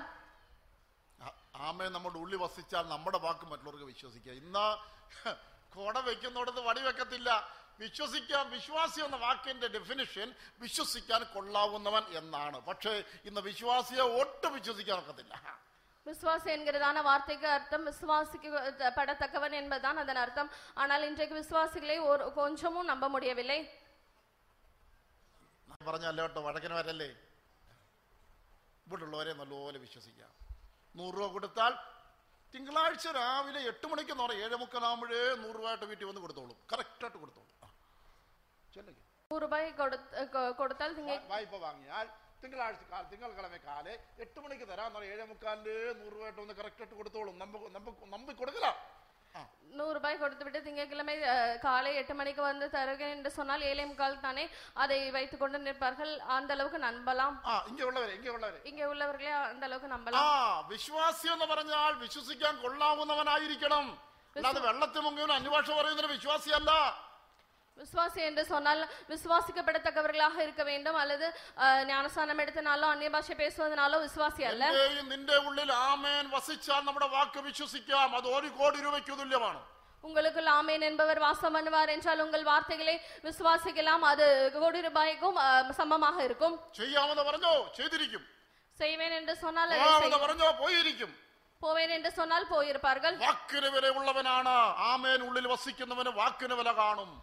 ஆமீன் என்பவர் உள்ளில் வாசமாக இருப்பார் என்றால் வாக்கின் வி- வார்த்தையின் விலை அறிந்தவர்களாக ആ, இருப்பார்கள் അതാ അല്ലാതെ പക്ഷേ ഒന്നാന്തരം കുടയാണ് നമ്പർ വൺ കുടയാണ് ഇത് പിന്നെ എൻ്റെ ആ, ഒരു കസിൻ അത് ആ, തു- തൂത്തുക്കുടിയിൽ ഉണ്ടാക്കുന്ന കമ്പനി കുടയാണ് കൊണ്ടുവന്ന് മഴ പെയ്ത് കഴിയുമ്പോൾ വെള്ളമെല്ലാം എൻ്റെ തലക്കുറി ഒഴുകും அது ஒன்னாம் நம்பர் கொடையாக இருக்கிறது என் கசின் தூத்துக்குடியிலிருந்து கொண்டு കമ്പനി வந்து കമ്പനി വെച്ചിരിക്കുന്നു கம்- கம்பெனி வைத்திருக்கிறார் அவர் கொடுத்ததான கொடை என்று சொன்ன சொன்ன பிறகும் மழை வரும்போது அந்த கொடையானை ஒழுகுகிறது എൻ്റെ തലക്കൂടെ വെള്ളമെല്ലാം ഒഴുകുന്നു தண்ணி த- தலை முழுவதுமாக தண்ணீர் நில்- നിങ്ങൾക്കറിയാമോ തൂക്കുപാലം പലയിടങ്ങളിൽ തൂക്കുപാലം. കമ്പി കമ്പിയിലെ ഇങ്ങനെ ഉണ്ടാക്കും തൂക്കുപാലം.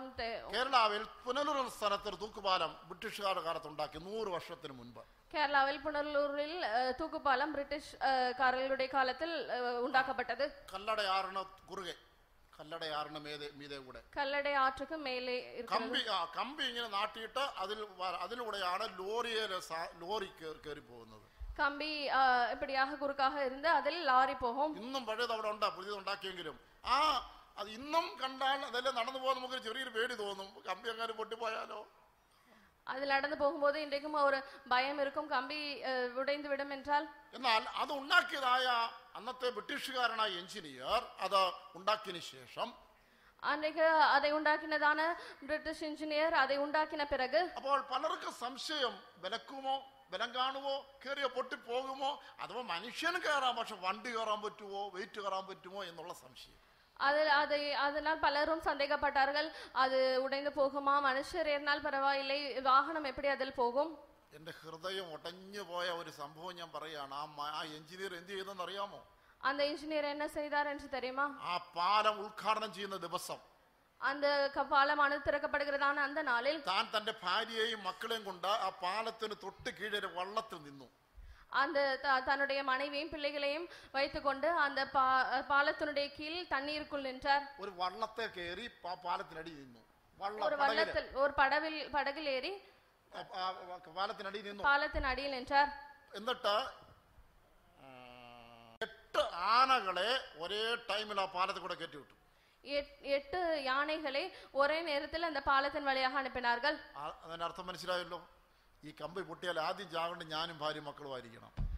അത് പൊട്ടത്തില്ലെന്ന് ഒത്ത- അവൻ ഉറപ്പുള്ളത് കൊണ്ടാണ് അവന്റെ കൂടുമാട്ടനെ കീഴി കയറുന്നത് ഏഴാന എട്ടാനെ കയറ്റി വിട്ടിട്ട് அது உடைந்து போகாது என்கிறதான அவருக்கு உறுதி இருந்தபடியினால் தான் அவர் எட்டு யானைகளை அப்படியாக அனுப்பினார் അതാണ് വിശ്വാസി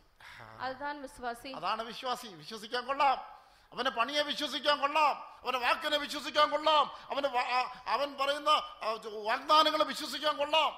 அவருடைய வார்த்தைகளை விசுவாசிக்க முடியும் அவருடைய அவளுக்கு கொடுத்ததான வேலைகளை விசுவாசிக்க முடியும் அவளுடைய வா- வா- வா- യേശുവിന് ആമേൻ എന്ന പേര് വരാൻ കാര്യം അവന്റെ വാക്ക് നമുക്ക് വിശ്വസിക്കാം இயேசுவுக்கு ஆமேன் என்று பெயர் வருவதற்கான காரணம் அவருடைய അവന്റെ வார்த்தைகளை വാഗ്ദത്തങ്ങൾ നമുക്ക് விசுவாசிக்கலாம் വിശ്വസിക്കാം அவருடைய வாக்குத்தத்தங்களை விசுவாசிக்கலாம் മറ്റൊന്ന് വാഗ്ദത്തങ്ങൾ നിറവേർ ക്രിസ്തുവേശുകളുടെയാണ് നിറവേറുന്നത് അതുകൊണ്ടാണ് ആമേൻ എന്ന പേര് ക്രിസ്തുവിന് വന്നിരിക്കുന്നത്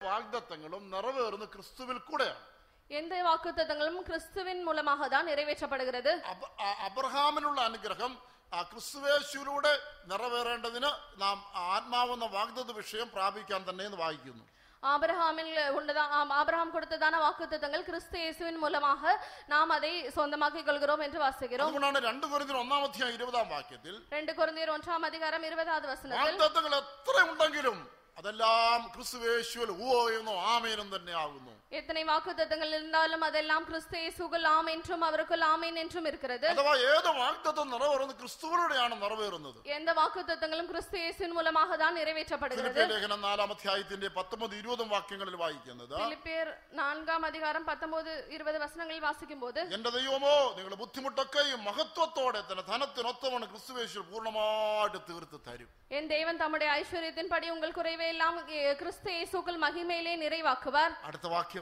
നമ്മുടെ ദൈവവും പിതാവുമായവന് എന്നേക്കും മഹത്വം ആമേൻ நம்முடைய பிதாவாகிய தேவனானவருக்கு என்றென்றைக்கும் மகிமை உண்டாவதாக എന്റെ ஆமென் ദൈവം നിങ്ങളുടെ ബുദ്ധിമുട്ടെല്ലാം തീർത്തു തരുമെന്ന വാഗ്ദത്വം ക്രിസ്തുവേശുവിൽ ആമേൻ എന്നാകുന്നു என்ற தேவன் என்ற குறைவுகளை எல்லாம் நிறைவாக்கி தருவார் என்றதான வார்த்தைக்கு கர்த்தருக்குள் ஆமேன் என்று சொல்லுகிறோம் ഒരു വചനം വായിക്കുമ്പോൾ നീ ആമേൻ എന്ന് പറയണം വചനം കേൾക്കുമ്പോൾ ആമേൻ എന്ന് പറയണം ദൂത് കേൾക്കുമ്പോൾ ആമേൻ എന്ന് പറഞ്ഞാൽ നിനക്കത് നിറവേറും வசனம் கேட்கும் போதும் பிரசங்கம் கேட்கும் போதும் தூது கேட்கும் போதும் ஆமேன் என்று சொன்னால் அது உங்களுக்கு நிறைவேறும் ആ ഇവിടെ ദൂത് പറയുമ്പോ നീ മൊബൈൽ എടുത്ത് കുത്തിക്കൊണ്ടിരുന്ന നിനക്ക് ആമേൻ എന്താ എന്താ ആമേനാ വരാൻ പോകുന്നത് இங்கே தூது பேசிக்கொண்டிருக்கும் போது மொபைல் எடுத்துக்கொண்டு இருப்ப- ப- நோண்டி இரு- இருப்பீர்கள் என்றால் உங்களுக்கு ஆமேன் என்று எப்படி சொல்ல முடியும் വചനം കേൾക്കുമ്പോൾ വചനം വായിക്കുമ്പോൾ ആമേൻ എന്ന് പറഞ്ഞാൽ നിനക്കത് സ്വന്തമാകും வசனம் கேட்கும் போது ஆமேன் என்று நீங்கள் சொல்லுவீர்கள் என்றால் அது உங்களுக்கு சொந்தமாக ഒരു இருக்கும் ദൂത് കേൾക്കുമ്പോൾ ആമേൻ എന്ന് പറഞ്ഞാൽ അത് സ്വന്തമാകും ஒரு தூது கேட்கும் போது ஆமேன் என்று சொல்வீர்கள் என்றால் அது உங்களுக்கு சொந்தமானதாக இருக்கும் അങ്ങനെ ഒരു കോണം ടി പി എംകാർക്കില്ല அப்படிப்பட்டதான ஒரு ഒരു കോണം ஒரு பழக்கம் டிபிஎம் காரர்களுக்கு இல்லை നല്ല മര്യാദക്കാരായി ഇനി മരിച്ചവൻ ഉയർത്തെഴുന്നേറ്റ് വന്ന ഇന്നലെ എന്നെ അടക്കാൻ കൊണ്ടുപോയി പെട്ടിക്കകത്ത് വെച്ച് കുഴിക്കകത്ത് ഇറക്കി വെച്ചതാണ് പ്രിയമുള്ളവര് എന്നാൽ ദൈവം ഉയർത്തെഴുമ്പോ ഇവിടെ കൊണ്ടുവന്ന് പറഞ്ഞാലും അല്ലാതെ ഒരു സ്വോത്രം ആമേനോ ബന്ധം ടി പി കാർഡ് വായി വരത്തില്ല ஒ- ஒரு ஸ்தோத்திரமா ஆமேனும் டிபிஎம் காரர்களுடைய வாயிலிருந்து வருகிறதில்லை എന്നാ പിള്ളേ ഒരാൾ സാക്ഷി കൊടുക്കുവാണ് ഞാൻ മരിച്ചു എന്നെ പെട്ടിക്കകത്താക്കി അടക്കാൻ കൊണ്ടുപോയി കുഴിയിൽ ഇറക്കി വെച്ചു ஒரு ஒரு நபர் இப்படியாக சாட்சி சொல்வார் அஹ், நான் என் நான் மறித்து போனேன் நான் என்னை அடக்காரதை நடத்தி ப- ப- பெட்டிக்குள் வைத்து குழிக்குள் வ- போய் வைத்து விட்டார்கள் ഞാൻ കുഴി വെച്ച് കഴിഞ്ഞ് കർത്താവ് എനിക്ക് ജീവൻ തന്നു குழியில் வைத்த பிறகு கத்தர் எனக்கு ஜீவன் தந்தார் ഇത് കേട്ടാലും നമ്മുടെ ടി പി എംകാര് ഇങ്ങനെ കൈയും കെട്ടിയിരിക്കുകയല്ലാതെ ഒരു സ്വത്തമോ ഒരു അല്ലേലിയോ അവിടെ വായിന്ന് വരത്തില്ല இதை கேட்டாலும் அஹ், அப்படியே கை கொட்டி கை கட்டி கொண்டு இருப்பார்களே தவிர ஒரு ஸ்தோத்திரம் அல்லையா ஒன்றும் வாயிலிருந்து வருகிறதில்லை ഏതൊരു പാസ്റ്റർ എത്ര പേര് പ്രാർത്ഥി എത്ര നല്ല ദൂതം എന്ന് പറഞ്ഞാലും ഇതെല്ലാം കേട്ടിങ്ങനെ ഈ ഇരിപ്പിരിക്കല്ലാതെ ഒരു ആമയമായി ആമയം പറഞ്ഞില്ലെങ്കിൽ നിനക്ക് ഇതൊന്നും സ്വന്തമാകത്തില്ല ஆமேன் என்று சொல்லவில்லை என்றால் இதெல்லாம் உங்களுக்கு சொந்தமாவதில்லை നെഹമ്യ പ്രവചനം എട്ട്- പുസ്തകം എട്ടാം അധ്യായത്തിന്റെ ആറാം വാക്യത്തിൽ വായിക്കുമ്പോൾ நெகேமியா எட்டாம் அதிகாரம் ஆறாவது வசனத்தில் வாசிக்கும் போது യസ്രാ ശാസ്ത്രി ദൈവത്തിന്റെ വചനങ്ങളെ അവർക്ക് വായിച്ചു കേൾപ്പിച്ചു எஸ்ரா அஹ், தேவனுடைய வசனங்களை அவர்களுக்கு வாசித்து காண்பித்தான் അവര് രാവിലെ തുടങ്ങി ഉച്ചവരെ പുരുഷന്മാരും സ്ത്രീകളും ഗ്രഹിപ്പാൻ പ്രാപ്തിയുള്ളവരെല്ലാരും വചനം ശ്രദ്ധിച്ചു കേട്ടു அவ- அவர்கள் ப- രണ്ടാമത്തെ വാക്യം എട്ട് രണ്ട് அப்படி அவ- அவர்கள் அஹ், புருஷரும் ஸ்திரீகளும் கேட்டு அறியத்தக்க அனைவரும் சபைக்கு முன்பாக கொண்டு வந்தார்கள் ആ അവരിതെല്ലാം വചനം വായിക്കുന്നു ശ്രദ്ധിച്ചു കേട്ടു அவர்கள் எல்லாருமே வ- அவன் வசனம் வாசிக்கிறதை അഞ്ചാം கேட்டார்கள் വാക്യത്തിൽ അവൻ ജനം കാണുക പുസ്തകം വിടർത്തു ஐந்தாவது வசனத்தில் அவன் சகல ஜனங்களுக்கு முன்பாக புஸ்த- புஸ்தகத்தை திறந்து வைத்தான் വ- പുസ്തകത്തോട് വചനത്തോട് ബഹുമാനം എല്ലാവരും എഴുന്നേറ്റ് നിന്നു புஸ்தகத்துக்கு முன்பாக ஜனங்களுக்கு முன்பாக நின்ற போது அவன் ஜனங்கள் எல்லாரும் எழுந்து நின்றார்கள் മാത്രമല്ല അതിന്റെ അഞ്ചാറ് വാക്യം ഉടനെ അവർ എസ്ര മഹാദൈവമായ യഹോവയെ സ്തുതിച്ചു ജനമൊക്കെയും കൈ ഉയർത്തിയിട്ട് ആമേൻ ആമേൻ എന്ന് പറഞ്ഞു அப்பொழுது எஸ்ரா மகத்துவமுள்ள தேவனாக கத்தரை ஸ்தோத்தரித்தான் ஜனங்கள் எல்லாரும் தங்கள் கைகளை குவித்து அதற்கு மறுமொழியாக ஆமேன் ஆமேன் என்று சொன்னார்கள் അതുകൊണ്ടാണ് എസ്ര ടി പി എമ്മിലെ പാസ്റ്ററുമല്ല ആ ജനങ്ങൾ ടി പി എമ്മിലെ വിശ്വാസികളല്ല എന്ന് ഞാൻ പറയാൻ കാരണം അവരുടെ അവർ കേ- വചനം കേട്ടപ്പോൾ ആമേൻ പറഞ്ഞു കളഞ്ഞു எஸ்ரா டிபிஎம் பாஸ்டரும் அல்ல கேட்டதான ஜனங்கள் டிபிஎம் ஜனங்களும் அல்ல என்றதனால் சொல்ல முடிகிறது കാരണം അതുകൊണ്ടാണ് വചനം കേട്ടവൻ ആമേൻ പറഞ്ഞത് அதனால்தான் அவர்கள் அஹ், வசனத்தை கேட்ட பிறகு ആമേൻ என்று சொன்னார்கள் കേൾക്കുന്ന വചനത്തിന് ആമയം പറയാതെ വാഗ്ദത്തം കേൾക്കുമ്പോൾ ആമയം പറയാതെ സ്വന്തമാകുകയില്ല ആമേൻ ഉള്ളിലുള്ള വിശ്വാസി ആമേൻ പറയുന്നവനായിരിക്കും கா- கே- கேட்கிறதான தூதுக்கு ஆமேன் என்று சொல்லாதவர்களும் வாக்குத்தத்தம் கேட்கும் போது ஆமேன் என்று சொல்லாதவர்களும் ஆமேன் என்கிறவர் உள்ளே உள்ளே இல்லாததினால் அப்படி சொல்கிறதில்லை മുപ്പത്തി പതിനഞ്ചാം അധ്യായത്തിൽ ஆதியாகமம் ആദ്യാമം പതിനൈന്താം അധികാരം. അബ്രഹാമിന് ദൈവം വാഗ്ദത്തം കൊടുക്കുകയാണ്. അബ്രഹാമുക്ക് ദൈവം ഒരു വാക്കുതത്വം കൊടുത്ത. വർഷങ്ങളായി വാഗ്ദത്തം കൊടുത്തിട്ട് നിറവേറുന്നില്ല. വർഷങ്ങൾക്ക് മുൻപാക തന്നെ വാക്കുതത്വത്തിൽ കൊടുത്താൽ അത് നിറവേറവില്ലേ ഒടുവിൽ അവൻ പറഞ്ഞു ഇനി ഇപ്പം മക്കളും മോനും ജനിക്കാൻ പോകുന്നില്ല വയസ്സൊക്കെ ആയി. ഇനി വയതാകി വിട്ടത് എനിക്ക് ഒരു പിള്ളേകളും പിറക്കെ പോവതില്ലേ? ഇനിയിപ്പോ എനിക്ക് ഒരു ഒരു ദാസനുണ്ട് അവൻ ഇനി എല്ലാ അവകാശവനം എഴുതി കൊടുത്തേക്കാം. எனக்கு ஒரு வேலைக்காரன் இருக்கிறான் அவனுக்கு எல்லாவற்றை எல்லா சுதந்திரத்தையும் எழுதி கொடுத்து விடுகிறேன் അവൻ പറഞ്ഞു ഞാൻ ആമേരുന്ന് പേരുള്ളവനാണ് ഞാൻ പറയുന്ന വാക്കൊന്ന് മാറുന്നവനല്ല நான் ஆமேன் என்று பேருள்ளவராக இருக்கிறேன் நான் சொல்லுகிறதான வார்த்தை ஒன்றுமே மாறுவதில்லை എന്നിൽ നിന്ന് തന്നെ ഒരു മകൻ ജനിക്കും അവൻ അതിന് അവകാശിയാകും உனக்கு தானே ஒரு குமாரன் பிறப்பான் அவன்தான் சுதந்திரவாளியாக இருப்பான் പതിനഞ്ചിന്റെ അഞ്ചാം വാക്യത്തിൽ അവനെ പിത- ദൈവം അവനെ വീട്ടിന് പുറത്തു കൊണ്ടുപോയിട്ട് ആകാശത്തേക്ക് നോക്കി. നക്ഷത്രം എണ്ണാൻ പറഞ്ഞു. അവൻ പറഞ്ഞു എണ്ണാൻ പറ്റത്തില്ല. ഞാൻ നിന്റെ സന്തതി ഇതുപോലെ എണ്ണിക്കൂടാതോണം വർദ്ധിപ്പിക്കുന്നു தேவன் அவனை வெளியே அழைத்து கொண்டு போய் வானத்தை அண்ணாந்து பார்த்த நட்சத்திரங்களை என்ன உன்னால் கூடுமா என்றார் அவன் முடி அஹ், அஹ், கூடாது என்று சொன்னபோது அந்த உன் சந்ததி இவ்வண்ணமாய் இருக்கும் என்று சொன்னார் ആ അത് കേട്ടതായ അബ്രഹാം എന്ത് ചെയ്തു ആറാം വാക്യത്തിൽ அதை கேட்டதான ஆபிரகாம் என்ன செய்தான் അവൻ യഹോവയിൽ വിശ്വസിച്ചു അതവന് നീതിയായി കണക്കിട്ടു அவன் கர்த்தரை விசுவாசி விசுவாசித்தான் அதை அவன் அவருக்கு நீதியாக எண்ணினார் ഇത് കേ- ഈ വാഗ്ദത്തം കേട്ടപ്പോൾ ഞാൻ നിന്റെ സന്തതിയെ നക്ഷത്രങ്ങൾ വർദ്ധിപ്പിക്കുന്ന വാഗ്ദത്തം കേട്ടവൻ എന്താണ് ചെയ്തത് വിശ്വസിച്ചു അതിന്റെ മൂലഭാഷയിൽ ആമേൻ എന്ന് പറഞ്ഞെന്നാണ് உன்னுடைய சந்ததியை இவனமாக நட்சத்திர நட்சத்திரங்களைப் போல பெருக பண்ணுவேன் என்று தேவன் அவனுக்கு வாக்குத்தத்தம் பண்ணின போது அவன் விசுவாசித்தான் அது மூல பாஷையில் ஆமேன் என்று எழுதப்பட்டிருக்கிறது അസാധ്യമായ കാര്യങ്ങൾ ദൈവം നമ്മോട് ചെയ്യുമെന്ന് പറയുമ്പോൾ അതിന് ആമേൻ എന്ന് പറഞ്ഞാൽ അസാധ്യം സാധ്യമായിട്ട് തീരും அசாத்தியமான காரியங்களை தேவன் நம்மிடத்தில் செய்வேன் என்று சொல்லும் போது அதற்கு நாம் ஆமேன் என்று சொல்வோம் என்றால் அசாத்தியமான காரியங்கள் சாத்தியமாகும் അതല്ല അത് കേട്ടോണ്ടിരിക്കുമ്പോൾ ഒക്കുമോ സാധിക്കുമോ ആ, നടന്നാ കൊള്ളാം കിട്ടിയാ കൊള്ളാം എന്ന് പറഞ്ഞാൽ നിനക്കൊന്നും കിട്ടാൻ പോകുന്നില്ല அப்படி தேவன் சொல்லும்போது இந்த காரியம் நடந்தால் பரவாயில்லை அப்படி கிடைத்தால் பரவாயில்லை என்று சொல்வாய் என்றால் உனக்கு இந்த ஒன்றுமே கிடைக்காது വാഗ്ദത്തം നമ്പ മുടിയാവിട്ടാലും നീ ആമേനെന്ന് ചൊല്ല അത് നിനക്ക് സ്വന്തമായി മാറും இந்த வாக்கு தத்தங்களை நம்ப முடியாவிட்டாலும் ஆமேன் என்று சொல்வாய் என்றால் அது உனக்கு சொந்தமாக மாறும் വെളിപ്പാട് ഇരുപത്തിരണ്ടിന്റെ ഇരുപതാം വാക്യത്തിൽ വായിക്കുമ്പോൾ வெளிப்படுத்தல் இருபத்தி ரெண்டாம் அதிகாரம் இருபதாவது வசனத்தில் வாசிக்கும் போது സാക്ഷീകരിക്കുന്നവൻ പറയുന്നു അതേ ഞാൻ വേഗം വരുന്നു എന്ന് അരളി ചെയ്യുന്നു சாட்சியாக அறிவிக்கிறவர் நான் இதோ நான் சீக்கிரமாக வருகிறேன் என்கிறார் ആരാ യേശു ക്രിസ്തു പറയുക ഞാൻ വേഗം വരുന്നു இயேசு கிறிஸ்து சொல்லுகிறார் நான் சீக்கிரமாக வரப்போகிறேன் യോഹന്നാൻ അപ്പോസ്തലൻ എന്താണ് പറഞ്ഞത് அ- யோவான் அப்போஸ்தலன் என்ன சொன்னான் ആമേൻ ஆமேன் കർത്താവേശുവേ വേഗം വരണമേ കർത്താവേ കർത്താവേശുവേ വാറും കർത്താവേ വേഗത്തിൽ വരല്ലേ ഞാൻ ശരിയായിട്ടില്ലെന്നല്ല പറഞ്ഞത് കർത്താവേ നീ വരവേണ്ട കുറെ കാലം വേല ചെയ്യണം കുറെ കൂടെ സ്നാനപ്പെടുത്തണം കുറെ കല്യാണം കൂടെ നടത്തണം എന്നല്ല പറഞ്ഞത് கொஞ்ச காலம் நீட்டி கொடுக்க வேண்டும் கொஞ்ச காலம் கடுத்து ஞானஸ்தானம் எடுப்பேன் என்று அவன் சொல்லவில்லை ഇതാ വേഗം വരുന്നു എന്ന് പറഞ്ഞപ്പോൾ അവൻ പറയണം ആമേൻ വേഗം വന്നാട്ടെ இதோ சீக்கிரமாய் வருகிறேன் என்று இயேசு சொன்னபோது ஆமேன் இயேசுவே சீக்கிரம் வாரும் என்று சொன்னார் യേശു ഇന്നും പറയുകയാണ് ഞാൻ വേഗം വരുന്നു പക്ഷേ ആമേൻ എന്നുള്ള ശബ്ദം സഭയിൽ നിന്ന് ഉയരുന്നില്ല இயேசு இன்றைக்கும் சொல்லுகிறார் நான் சீக்கிரமாய் வரப்போகிறேன் என்று ஆனால் ஆமேன் என்கிறதான சத்தம் சபையின் നിങ്ങളും இடத்தில் നിങ്ങളും கேட்கப்படவில்லை എന്റെയും വായിരുന്നു ആമേൻ യേശു വേഗം വരുന്നു എന്ന് പറയുമ്പോൾ ആമേൻ എന്ന് പറയും വരെ അവൻ വരാൻ കഴിയുന്നില്ല ஏ- நான் சீக்கிரமாய் வருகிறேன் என்று இயேசு சொல்வதற்கு ஆமேன் என்று நீங்களும் நானும் சொல்லவில்லை என்றால் அவர் வருவதற்கு നമ്മുടെ தாமதமாகும் വിശുദ്ധീകരണവും പൂർണ്ണതയും നമുക്ക് ലഭ്യമാകുന്നില്ല நம்முடைய பரிசுத்த சுத்திகரிக்கப்படுதலும் பரிசுத்தமும் நமக்கு கிடைக்க വചനം கிடைக்காது കേൾക്കുമ്പോൾ വാഗ്ദത്തം കേൾക്കുമ്പോൾ ദൈവത്തിനാണ് നിൽക്കുക. ആമേൻ എന്ന് പറഞ്ഞാട്ടെ ആമേൻ എന്ന് പറയണമെങ്കിൽ ആമേൻ നിന്റെ ഉള്ളിൽ ഉണ്ടായിരിക്കണം தேவன் சொல்கிறதான் அந்த வார்த்தைக்கு ஆமேன் என்று சொல்ல வேண்டும் என்றால் ஆமேன் என்று சொல்பவர் உங்களுக்குள் வாசமா இருக்க வேண்டும் സമയം പോയി ഒരു കാര്യം കൂടെ പറഞ്ഞ് ഞാൻ നിർത്തുകയാണ് ஒரு காரியம் மாத்திரம் சொல்லி என் வார்த்தைகளை முடிக்கிறேன் ആമേൻ എന്ന വാക്കിനർത്ഥം ഫുൾ സ്റ്റോപ്പ് എന്ന് ஆமேன் என்று சொல்வதற்கான அந்த வார்த்தையின் அர்த்தம் முற்றுப்புள்ளி வைப்பது പൗലോസൊക്കെ എഴുതിയ ലേഖനങ്ങൾ പലതും ത- അത് നിർത്തുന്നു ആമേൻ എന്ന് പറഞ്ഞാണ് നിർത്തുന്നത് பவுல் எழுதினதான அநேக நிருபங்களும் ஆமேன் என்று சொல்லிதான் முடிக்கப்படுகிறது ബൈബിൾ അറുപത്തിയാറ് പുസ്തകങ്ങളാണ് ப- பைபிள் அறுபத்தி ஆறு புஸ்தகங்கள் இருக்கிறது അറുപത്തി ആറാമത്തെ പുസ്തകത്തിന്റെ അവസാനത്തെ വാക്ക് നിങ്ങൾ നോക്ക് എന്താ എഴുതിയിരിക്കുന്നതെന്ന് அறுபத்தி ஆறாவது புஸ்தகத்தின் கடைசி வார்த்தையை நீங்கள் பாருங்கள் ആമേൻ ஆமேன் என்று അഥവാ எழுதப்பட்டிருக்கிறது. ഫുൾ സ്റ്റോപ്പ് ഇനി ഇതിനോട് ആരും കൂട്ടാനും പാടില്ല കുറയ്ക്കാനും പാടില്ല இது இதோடு கூட யாரும் சேர்க்கவும் கு- எ- சேர்க்கவும் முடியாது குறைக்கவும் முடியாது അതിനൊരു ഫുൾ സ്റ്റോപ്പ് വന്നിരിക്കുന്നു முற்றுப்புள்ளி வைக்கப்பட்டிருக்கிறது അതുകൊണ്ടാണ് യേശു ക്രിസ്തു പറയുന്നത് ഞാൻ അൽഫായും ഒമേഗയുമാകുന്നു അൽഫ എന്നത് ഈ ഭാഷയിലെ ഒന്നാമത്തെ അക്ഷരവും ഒമേഗ എന്ന അവസാനത്തെ അക്ഷരവുമാണ് இதான் இயேசு கிறிஸ்து நான் அல்பாவும் உமேகமாக உபேகாவுமாக இருக்கிறேன் என்று சொல்லுகிறார் அல்வா என்று சொன்னால் அஹ், ஹீப்ரு அஹ்,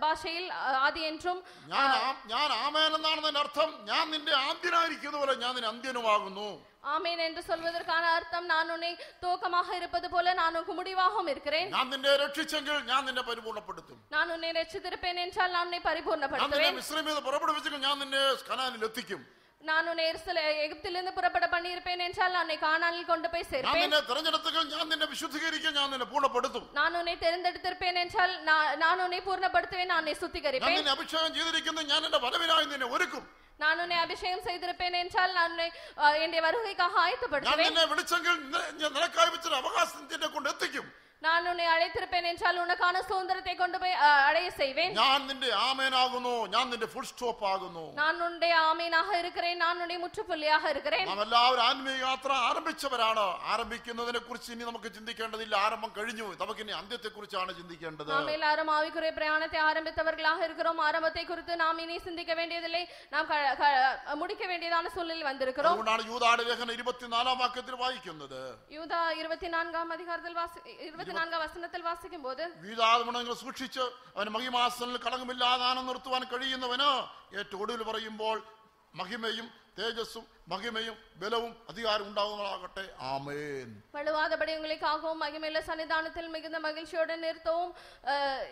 என்று சொல்லிவிட்டு கனம் மகத்துவம் வல்லமையும் அதிகாரம் இப்பொழுது எப்- என்- என்றென்றைக்கும் உண்டாவதாக என்று சொல்லி ஆமேன் என்று വീണു சொல்லப்படுகிறது പോകുമോ വീണു പോകുമോ എന്ന് ഭയപ്പെടേണ്ട വീഴാതെ തന്നെ സൂക്ഷിച്ച് അവിടെ മഹിമാസനം നിർത്തുവാൻ എനിക്ക് കഴിവുണ്ട് ആമേൻ ഞാൻ നിന്നെ അന്ത്യനാകുന്നു அஹ், வீடு வீடு போகுமோ என்று நீங்கள் ப- கவலைப்பட வேண்டாம் எல்லாவற்றையும் பாதுகாத்து நான் உங்களை வலுவாதபடி காத்து நான் மகிமையுள்ள சன்னிதானத்தில் நிறுத்துவேன் രണ്ട് പത്രോസ് മൂന്നാം അധ്യായം പതിനെട്ടാം വാക്യത്തിൽ വായിക്കുമ്പോൾ ரெண்டு பேதர் மூன்றாம் அதிகாரம் பதினொன்னாவது வசனத்தில் வாசிக்கும் போது പതിനേഴാം വാക്യം അധർമ്മിയുടെ വഞ്ചനയിൽ കുടുങ്ങിപ്പോകാതെ നിങ്ങളെ സൂക്ഷിച്ചുകൊള്ളുവീൻ എന്ന് പറയുകയാണ് പതിനേഴാം വാക്യത്തിൽ பதினேழு അധർമ്മികളുടെ കയ്യിൽ കുടുങ്ങിപ്പോകാതെ സൂക്ഷിച്ചു കൊള്ളുവീൻ അക്രമക്കാരുടെ വഞ്ചകത്തിലെ നിങ്ങൾ ഇലപ്പുണ്ട് ഉങ്ങൾ പോകാതെ പടിക്ക് ഉറുതിയായിരുങ്ങൾ കൃപയിലും പരിജ്ഞാനത്തിലും വളരുവീൻ. അവന് ഇപ്പോഴും എന്നും എന്നേക്കും മഹത്വം. ആമേൻ. നമ്മുടെ കർത്തരും രക്ഷകരുമായ യേസു ക്രിസ്തുവിൻ കൃപയിലും അവരെ അരികര അറിവിലും വളരുങ്ങൾ അവർക്ക് ഇപ്പോഴും എന്റെക്കും മഹിമയുണ്ടാകാതാക ആമേൻ. അകത്തും പുറത്തും എല്ലാം ധാരാളം അധർമ്മികളെ കാണാം. അവിടെ കയ്യിൽ വഞ്ചനെ കുടുങ്ങിപ്പോകാതെ നിന്നെ കൃപയിൽ കാത്തോ പരിജ്ഞാനത്തിൽ കാത്തോ എത്ര എത്തിക്കുന്നതിൽ ഞാൻ വിശ്വസ്തനാണ്. ആമേൻ. Amen. வெளியிலும் உள்ளும் உள்ளிலும் அநேக அக்கிரமக்காரர்கள் இருக்கலாம். ஆனால் அவருடைய கையில் நீங்கள் விழுந்து போகாதபடிக்கு உங்களை கத்தரை அறிகிற அறிவிலும் கிருபையிலும் காத்து காத்துக்கொள்வேன். കർത്താവിന്റെ വരവെങ്കിൽ എടുത്തുകൊള്ളപ്പെടാൻ എനിക്ക് കഴിയുമോ? கத்துடைய வருகையில் என்னால் எடுத்துக்கொள்ளப்பட முடியுமா? അവന്റെ വരവെങ്കിൽ ഞാൻ ഞാൻ ആ, പ- കാണപ്പെടുമോ அவருடைய வருகையில் நான் பூர்ணப்பட்டவனாக காணப்படுவேனா? തിമോഥയോസിന് പൗലോസ് എഴുതുമ്പോൾ திமுத்தேயுக்கு பவுல் எழுதும்போது മൂന്ന് തിമോഥയോസ് ஆறாം അധ്യായത്തിന്റെ ஒன்று திமுத்தி ஆறாம் அதிகாரம் പതിമൂന്നാം വാക്യത്തിൽ പറയുന്നു. பதிமூணாவது வசனத்தில் சொல்லும்போது നീ നിഷ്കളങ്കനും നിരപവാദ്യനുമായ ഈ കൽപ്പന കർത്താവായ യേശുവിന്റെ പ്രത്യക്ഷത വരെ പ്രമാണിച്ചു കൊള്ളണം நீ நம்முடைய கத்தராக இயேசு கிறிஸ்து பிரசன்னமாகும் வரைக்கும் நீ இந்த கற்பனையை மாசில்லாமலும் குற்றமில்லாமலும் கை கொள்ளும்படிக்கு பாதுகாத்துக் கொள்ள അയ്യോ வேண்டும் യേശുവിന്റെ വരവരെയും ഇനി നിഷ്കളങ്കനായി നിരപവാദ്യനായി നിൽപ്പാൻ കഴിയുമോ ഞാൻ വീണു പോകുമോ തെറ്റിപ്പോകുമോ എന്ന് ഭയപ്പെടേണ്ട நீ இயேசுடைய வருகை வரைக்கும் மாசில்லாதவனாக குற்றமில்லாதவனாக இருப்பேனா தவறி விடுவேனா என்று நீங்க ப- நீங்கள் பயப்பட வேண்டாம் പതിനാറാം വാക്യത്തിൽ രാജാ ഏ, ധന്യനായകാധിപതിയും രാജാതി രാജാവും കർത്താതി കർത്താവും താൻ മാത്രം അമർത്യതയുള്ളവനും അടുത്തുകൂടാത്ത വെളിച്ചത്തിൽ വസിക്കുന്നവനും മനുഷ്യരാരും കാണാത്തവനും കാണാൻ കഴിയാത്തവനുമായവൻ തക്ക സമയത്ത് ആ പ്രത്യക്ഷത വരുത്തും അവന് ബഹുമാനവും നിത്യബലം ഉണ്ടാകട്ടെ ആമേൻ ஒருவராய் சாவாமையுள்ளவரும் சேரக்கூடாத ஒளியில் வாசம் பண்ணுகிறவரும் மனுஷரில் ஒருவரும் கண்டிராதவரும் காணக்கூடாதவருமாய் இருக்கிறவர் அவருக்கே கனமும் நித்திய வல்லமையும் உண்டாயிருப்பதாக ஆமேன் നിനക്ക് നീ നിരപവാദ്യ നീ ആ, നിരപവാദ്യനായി കാണപ്പെടുവാൻ നീ കുറ്റമില്ലാത്തവനായി நீ കാണപ്പെടുവാൻ குற்றமில்லாதவனாக காணப்படும்படியாக നിഷ്കളങ്കനായി நீ കാണപ്പെടുവാൻ களங்கமில்லாதவனாக காணப்படும்படியாக വിശ്വാസത്തിന് നല്ലപോലെ വരുന്നവനായി കാണപ്പെടുവാൻ விசுவாசத்தில் நல்ல போராட்டத்தை போராடும்படியாக നിത്യജീവനെ മുറുകെ പിടിക്കുന്നവനായി കാണപ്പെടുവാൻ நித்திய ஜீவனை பற்றிக் கொள்ளும்படியாக ഓ ആ വരവിനായി ഒരുങ്ങി നിൽക്കുന്നവനായി നിന്നെ കാക്കുവാൻ கர்த்தருடைய வருகைக்காக ஆயத்தப்படும்படியாக உன்னை காத்துக் கொள்ளும்படியாக കഴിയുന്ന ദൈവമുണ്ട് അവന് മഹത്വവും ബലവും ഉണ്ടാകട്ടെ ആമേൻ பாதுகாக்கிறதான தேவன் உண்டு அவருக்கு கனமும் நித்திய வல்லமையும் உண்டாயிருப்பதாக ஆமேன் യവനക്കാരനായ ശുശ്രൂഷകനായ തിമതിയോസേ അവൻ നിന്റെ ആമേനാകുന്നു അവൻ ഫുൾ സ്റ്റോപ്പ് ആകുന്നു ഭയപ്പെടേണ്ട வாலிபனாகிய ஊழியக்காரனாகிய ச- ச- தீமோத்தேயுவே நீ பயப்பட வேண்டாம் നമ്മുടെ ജീവിതത്തിലെ പരീക്ഷകളും ശോധനകളും അവൻ ഫുൾ സ്റ്റോപ്പ് ഇടുന്നവനാണ് ஜீவ- ஜீ- ஜீவியத்தில் வருகிறதான பரீட்சைகளுக்கும் சோதனைகளுக்கும் தேவன் முற்றுப்புள்ளி வைக்கிறார் അതെ നമ്മൾ എരുമയാപ്രവചന അഞ്ചാം അധ്യായത്തിൽ ഇരുപത്തിരണ്ടാം വാക്യത്തിൽ വായിക്കുമ്പോൾ இறைமை ஐந்தாம் அதிகாரம் இருபத்தி ரெண்டாம் வசனத்தில் അവിടെ வாசிக்கும் കടലിന് തിരക്കും ഒരു അതിര് വെച്ചിരിക്കുന്നു அவர் கடலினுடைய அலைகளுக்கும் ஒரு எல்லை வைத்திருக்கிறார் മണലാണ് അതിര് വെച്ചിരിക്കുന്നത് മണല് மணலுக்கும் ஒரு எல்லை எல்லை வைத்திருக்கிறார் ആ തിരമേലോട് പറയുകയാണ് നിന്റെ ഗർഭം ഇവിടെ നിലയ്ക്കും அந்த அலையோடு கூட சொல்லு ഉം. നിന്റെ ഗർഭം നിന്റെ പെരുമ ഇവിടെ നിലയ്ക്കും നിൽക്കും. உன்னுடைய கர்வமானது இங்கே தனியும் അഥവാ കാറ്റിനും കടലിനും അലയ്ക്കും ഒരു ഫുൾ സ്റ്റോപ്പ് ഇടുന്നവൻ നമ്മുടെ ദൈവം கடலுக்கும் காற்றுக்கும் அ- அலைக்கும் ஒரு முற்றுப்புள்ளி வைக்கிறவர் நம்முடைய தேவனாக ജീവിതത്തിൽ இருக்கிறார் ഒന്നിനു പിറകെ ഒന്നായി ശോധനകൾ കഷ്ടങ്ങൾ പരീക്ഷകൾ വരുമ്പോൾ ഇതിന് ഫുൾ സ്റ്റോപ്പ് ഇല്ലേ ദൈവമേ എന്ന് ചോദിക്കണ്ട ഫുൾ സ്റ്റോപ്പ് ഉണ്ട് അവൻ തക്ക സമയത്ത് ഫുൾ സ്റ്റോപ്പ് ഇടും கஷ்டங்களும் சோதனைகளும் பரீட்சைகளும் அடுத்தடுத்து மாறி மாறி வரும்போது தேவனை இதற்கு ஒரு முற்றுப்புள்ளி இல்லையா என்று கேட்கும்போது தேவன் முற்று அதற்கு ஒரு முற்றுப்புள்ளி வைக்கிறவராக എന്നും இருக்கிறார் കഷ്ടവും നഷ്ടവും വേദനയും ഉള്ളോ എനിക്കൊരു നന്മയുടെ നാളുകൾ ഇല്ലേ എന്ന് ചോദിക്കാം എനിക്ക് നാൾ ഇന്നത്തെ നിന്റെ കഷ്ടതയ്ക്ക് ഒരു ഫുൾ സ്റ്റോപ്പ് ഇട്ട് നന്മയുടെ നാളുകൾ തരുവാൻ അവൻ കഴിയും അവൻ ആമേനാകുന്നു என்றைக்குமே கஷ்டம் நஷ்டம் வருத்தம் தானே இருக்கிறது இதற்கு ஒரு முற்றுப்புள்ளி இல்லையா என்று கேட்கிறவர்களுக்கு தேவன் ஒரு ஒரு நாள் வரும்போது தேவன் அதற்கு ஒரு முற்றுப்புள்ளி வைக்க தேவன் வல்லமை உள்ளவராக இருக்கிறார் നാൽപ്പത്തി ആറാം സങ്കീർത്തനം ഒൻപതാം വാക്യം நாற்பத்தி ஆறாம் சங்கீதம் ஒன்பதாவது അവൻ வசனம் അവൻ ഭൂമിയുടെ അറ്റം മുതൽ അറ്റം വരെയും യുദ്ധങ്ങളെ നിർത്തൽ ചെയ്യുന്നു அவர் பூமி பூமியின் கடை கடை അറ്റം മുതൽ അറ്റം വരെയും അറുതി മുതൽ അറുതി വരെയും യുദ്ധങ്ങൾ നിർത്തൽ ചെയ്യുന്നവനാണ് அவர் ஒ- ஒரு பூமியின் எல்லை ஒரு முனையிலிருந்து மறு மறுமுனை வரைக்கும் யுத்தங்களை நடத்துகிறவராக இருக்கிறார் ഒരു വിശ്വാസി യുദ്ധങ്ങളുണ്ട് விசுவாசிகளுக்கு யுத்தங்கள் ശുശ്രൂഷകർക്ക് இருக்கிறது പോരാട്ടങ്ങളുണ്ട് ஊழியர்களுக்கும் போராட்டங்கள் ചിലപ്പോൾ இருக்கிறது ഒന്നിനു പിറകെ ഒന്നായി വന്നുകൊണ്ടിരുന്നെന്ന് വന്നേക്കാം சில வேளைகளில் ஒன்றன் பின் ஒன்றாக வருவதாக എന്നാൽ இருக்கலாம் ഒടുവിൽ അവൻ ഇതിന് ഫുൾ സ്റ്റോപ്പ് ഇടും ஆனால் முடிவில் அவர் ஒரு முற்றுப்புள்ளி வைப்பார் യുദ്ധം യുദ്ധം തീരും യുദ്ധം നിശ്ചയമാക തീരും പോരാട്ടങ്ങൾ തീരും പോരാട്ടങ്ങൾ തീരും നിത്യ സ്വസ്ഥതയിലേക്ക് നിത്യ കാനാനിലേക്ക് പ്രവേശിക്കും നിത്യയിലെ പാറുതലോടുകൂടെ കാനാനുകൾ പ്രവേശിക്ക പണുവാർ കഷ്ടതകൾ ഒരു വിശ്വാസിക്ക് പറഞ്ഞിട്ടുള്ളത് തന്നെയാണ് കഷ്ടങ്ങൾ എൺപത് ഒരു വിശ്വാസിക്ക് വഴക്കമാക നേരിടുക വരെ ദൈവത്തിന്റെ സ്വഭാവം ഉരുവാകുന്ന ഒരു കഷ്ടം വന്നുകൊണ്ടേ ഇരിക്കും அவர்கள் பரிசுத்தமாக்கப்படும் வரைக்கும் தேவனுடைய சுபாவம் அவர்கள் உண்டாக்கும் வரைக்கும் கஷ்டங்கள் அவர்களுக்கு நேரிடும் വെളിപ്പാട് ഇരുപത്തൊന്നിന് അഞ്ചിൽ കഷ്ടത ഇനി ഇല്ല എന്ന് വായിക്കും வெளிப்படுத்தல் இருபத்தி ஒன்றாம் அதிகாரம் ஐந்தாவது வசனத்தில் இனி கஷ்டங்கள் இல்லை என்று കഷ്ടതയ്ക്ക് ഒരു எழுதப்பட்டிருக்கிறது ഫുൾ സ്റ്റോപ്പ് ഇടാൻ അവന് കഴിയും അവൻ ആമേരാകുന്നു கஷ்டங்களுக்கு ஒரு முற்றுப்புள்ளி வைக்க தேவனால் முடியும் அவர் ஆமேன் என்று അതെ சொல்லுகிறார் അവൻ നമ്മുടെ ജീവിതത്തിലെ ശോധനകളിൽ ഒരു ആമേനാകുന്നു ഫുൾ സ്റ്റോപ്പ് ആകുന്നു நம்முடைய ஜீவியத்தின் சோதனைகளுக்கு அவர் ஆமேனாக இருக்கிறார் ஒரு முற்றுப்புள்ளி வைக்கிறார் നമ്മൾ നേരെ നമ്മളെ വിഴുകുവാൻ ഉയരുന്ന തിരമാലകൾക്ക് അവൻ ആമേനാകുന്നു நம்மை அஹ், வீழ்- வீழ்- விழுங்கும்படியாக வருகிறதான அலைகளுக்கு அவர் ஆமேன் என்று சொல்லுகிறார் നമുക്കെതിരെ നിരന്തരമായിരുന്ന യുദ്ധങ്ങൾക്കും പോരാട്ടങ്ങളും അവൻ ഒരു ആമേനാകുന്നു ഫുൾ സ്റ്റോപ്പ് ആകുന്നു தொடர்ச்சியாக நம்முடைய ஜீவங்களில் வருகிறதான யுத்தங்களுக்கும் போராட்டங்களுக்கும் அவர் ஆமேன் என்று இருக்கிறார் ஒரு முற்றுப்புள்ளி നമ്മുടെ வைக்கிறார் ജീവിതത്തിൽ ഒന്നിനു പുറകെ ഒന്നായി വന്നുകൊണ്ടിരിക്കുന്ന കഷ്ടതയ്ക്ക് അവനിൽ ആമേനാകുന്നു ഫുൾ സ്റ്റോപ്പ് ഇടുന്നവനാകുന്നു நம்முடைய ஜீவியத்தில் ஒன்றன் பின் ஒன்றாக வருகிறதான கஷ்டங்களுக்கு தேவன் ஆமேன் என்றவராக இருக்கிறார் முற்றுப்புள்ளி வைக்கிறார் നമ്മുടെ ജീവിതത്തിലെ തോരാത്ത കണ്ണുനീരെന്ന് പലരും പറയും ഇല്ല തോരുന്ന കണ്ണുനീരേ ഉള്ളൂ അവൻ ഫുൾ സ്റ്റോപ്പ് ഇട്ടാ പിന്നെ കണ്ണുനീരില്ല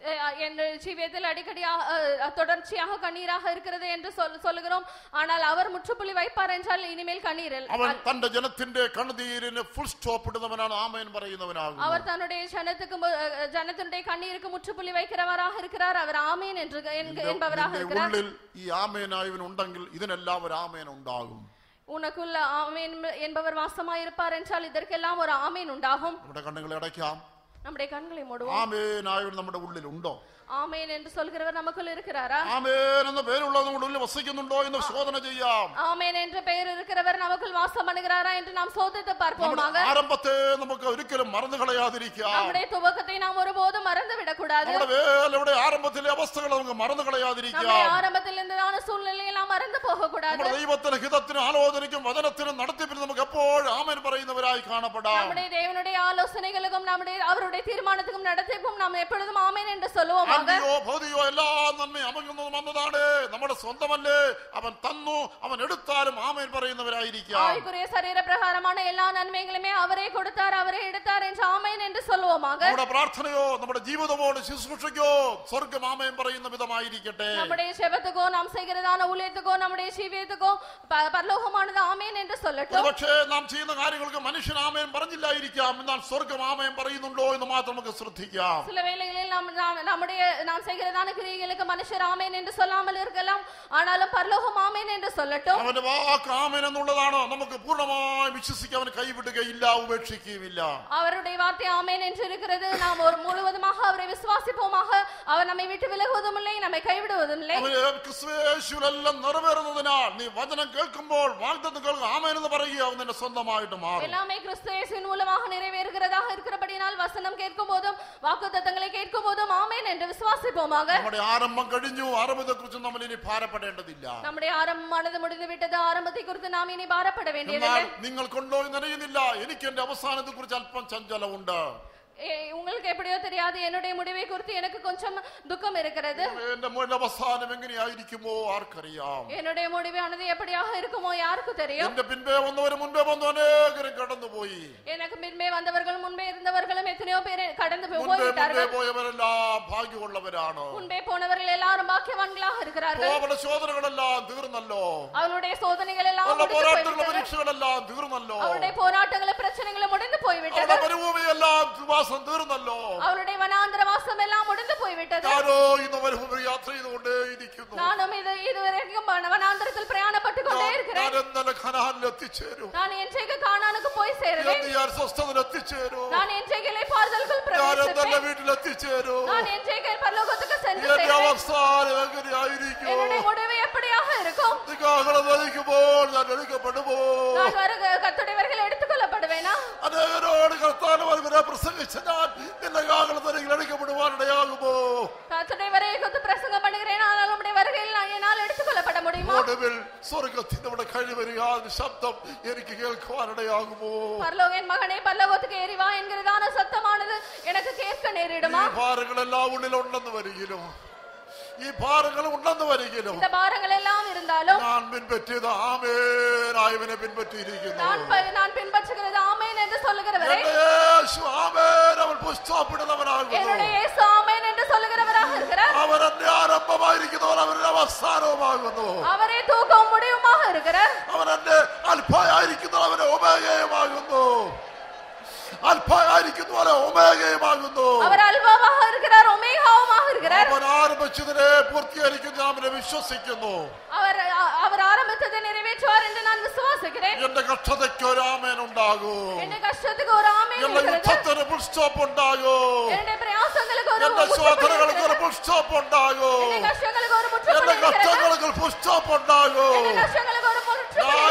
വീട്ടിലേക്ക് പറന്നു പോകും கர்த்தரிடத்தில் பறந்து എന്റെ போவேன் എന്റെ ആമേനായവനോട് എന്നേക്ക് നിത്യതയിൽ ഞാൻ വസിക്കും நான் என்னுடைய ஆமீனாகிய தேவனோடு கூட நிச்சயத்தில் என்றென்றைக்குமாக வாசம் பண்ணுவேன் വിശ്വാസവും പ്രത്യാശയുള്ളവരായി മുൻപോട്ട് പോകാം ദൈവം നമ്മളെ സഹായിക്കുമാറാകും விசுவாசம் நம்பிக்கையுள்ளவர்களாக முன்னேறி செல்லும்படியாக தேவன் நமக்கு உதவி செய்வாராக ஆவியின் கரங்கள்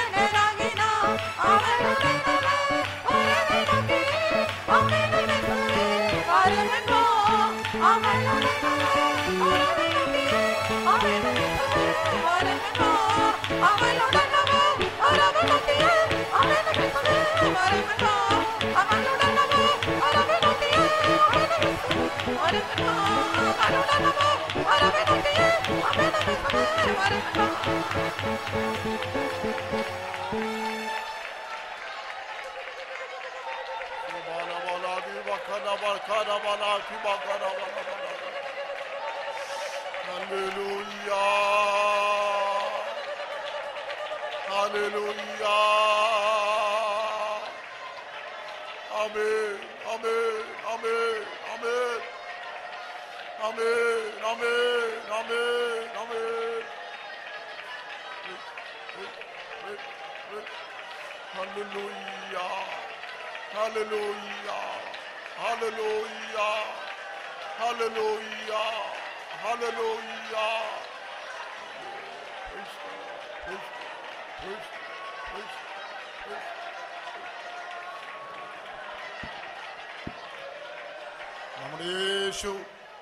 സൃഷ്ടികൾ അവൻ ആ സൃഷ്ടിപ്പിനുടെ ആരംഭവും. അവൻ ആ ആമേനോടായിരിക്കുന്നപടിയാൽ നാം സ്തോത്തിരിപ്പോം നൽക്രിയെ നമ്മൾ ആരംഭിച്ചവൻ അതിനെ പനിവിനപ്പെടുത്തവും ആ ഉണ്മയുള്ളവരായിരിക്കുന്ന പടിയനാൽ സ്തോത്തിരിപ്പോം ഈജിപ്തിൽ നമ്മളെ പുറപ്പെടുവിച്ചവൻ കനാലിൽ കൊണ്ട് ചേർക്ക വല്ലവരായിരിക്കുന്ന പടിയനാൽ സ്തോത്തിരിപ്പോം ഇതോ ഞാൻ ശീഘ്രമായി വരുകയിലിരുന്ന് അവൻ ചൊല്ലുമ്പോഴത് ആമേൻ കർത്തരാ യേശുവെ ശീഘ്രം വാരുമെന്ന് ചൊല്ലത്തക്കവണ്ണം ആണ്ട് നമ്മളെ ആയത്തപ്പെടുത്ത ആകസ്തോ സ്തോത്തിരിപ്പോ എത്രയോ വിശ്വാസി ഊഴിയറുകൾ തങ്ങളുടെ ജീവിതത്തെ പരിപൂർണപ്പെടുത്തി നല്ല മുടിവെ പറ്റിയുണ്ട് ആരുകൾ നമ്മുടെ തുവത്തൊക്കെ തുവക്കത്തെ പാകരി മുടിവ് ഓ മേന്മയുള്ളതായിരിക്കും ആകസ്തോ ആകസ്തോത്തിരിപ്പോ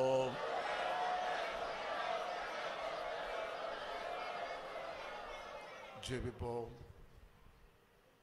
நன்மையிலே நன்மையிலே காவல் நன்றி செலுத்துகிறோங்க தாவே பன்னெண்டாவது மாதத்தில் இரண்டாம் நாள் கத்தாவே இந்த நாள் பரிசுத்தவினாலே எங்களுக்கு கிருபையா இறக்கமாய் எங்களுக்கு தந்தபடினால் நன்றிடம தெரிவிக்கிறாங்க தாவே. தேவன மட்டுமா எங்களுக்கு செய்த எல்லா நன்மை விவகாரங்களுக்காக நன்றி செலுத்தினாங்க தாவே. நாங்கள் ஒரு நாள் நன்றி உள்ளவர்களாக கத்த ஜீவிக்கும்படியாக நேர்களுக்கு உதவி செய்யபடி நாள் நன்றிடம தெரிவிக்கிறாங்க தாவே. என்னுடைய பாட்டுகள் எல்லாவற்றையும் எடுக்கத்தோணப்படுது தேவட நாமத்தை பாட்டினால் மையப்படுத்தும்படியாக தேவன் கத்த தாமே கிருபி நாள் தெரிவிக்கிறாங்க தாவே.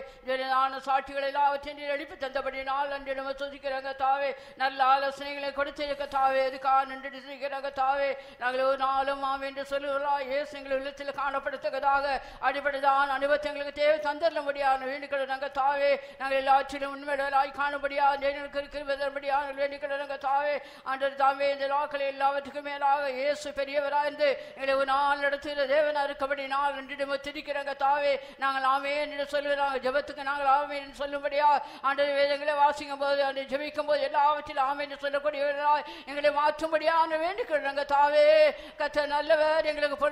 எல்லாவற்றையும் தேவன் ஆண்டரே எங்களை எல்லாம் செய்ய வல்லவர் என்பதை நாங்கள் விசுவாசம் இருக்கோங்க தாவே. ஆனபடி நாள் எல்லாவற்றுக்கும் மேலாக தேவன் உயர்ந்தவராக இருக்கிறபடினால தேவன் மட்டுமா எங்களுக்கு செய்ததான நன்மைகளை காத்திருக்கிறாங்க தாவே. கத்த எனக்கு கேட்டதானது வசத்தின்படி நாங்கள் ஜீவிக்க எங்களுக்கு இருபதாயிரம் ஆமன். இயேசுவே சீக்கிரம் வாரம் என்று சொல்லத்தக்கதாக அடிபடிதான். நிர்வேதங்களை தாரும் ஆண்டு கத்தா இந்த நாட்களில் ஆண்டரே ஓட்டத்தை நாங்கள் கூட ஜெயத்தோடு ஓடி முடிக்கிறவர்களாய் காணப்படத்தக்கதாக ஆண்டரே இந்த நாட்கள் அப்படிப்பட்ட அனுபவத்தை எங்களுக்கு பெற்றுக்கொள்ள உதவி செய்ய முடியாது. நாங்கள் தாவே கடைசி நாட்கள் வந்து பூரணப்பட்டு கத்தர் சமூகத்தில் நாங்கள் சேர்த்துக் கொள்ளும்படியாக எங்களுக்கு உதவி செய்ய முடியாது. வேண்டுகிறோம் வந்த மட்டும் ஆவியான எங்கள் மாதிரி அசவன் அப்படி நான் துணிக்கிறேங்க தாவே எல்லாரையும் ஆசிரிக்கும்படியா ஜெபிக்கிறேங்க தா சில ஆசிர்வதிக்கும்படியா ஜெபிக்கிறேங்க தாவே எல்லா இடங்களிலும் கூட்டங்களை பரிசுத்தவாங்க செய்த கூட்டங்களை ஆசிரியத்தபடி நான் நன்றிடம் இருக்கிறோம் எங்களை தாழ்த்தி கருத்து தரோம். എല്ലാത്തിനെയും ഘനമായി പിതാവേ. കൃപയും പരിശുദ്ധാപയോഗിക്കുന്ന മനേവിനോടും ഇന്നും എന്നെയും പതാക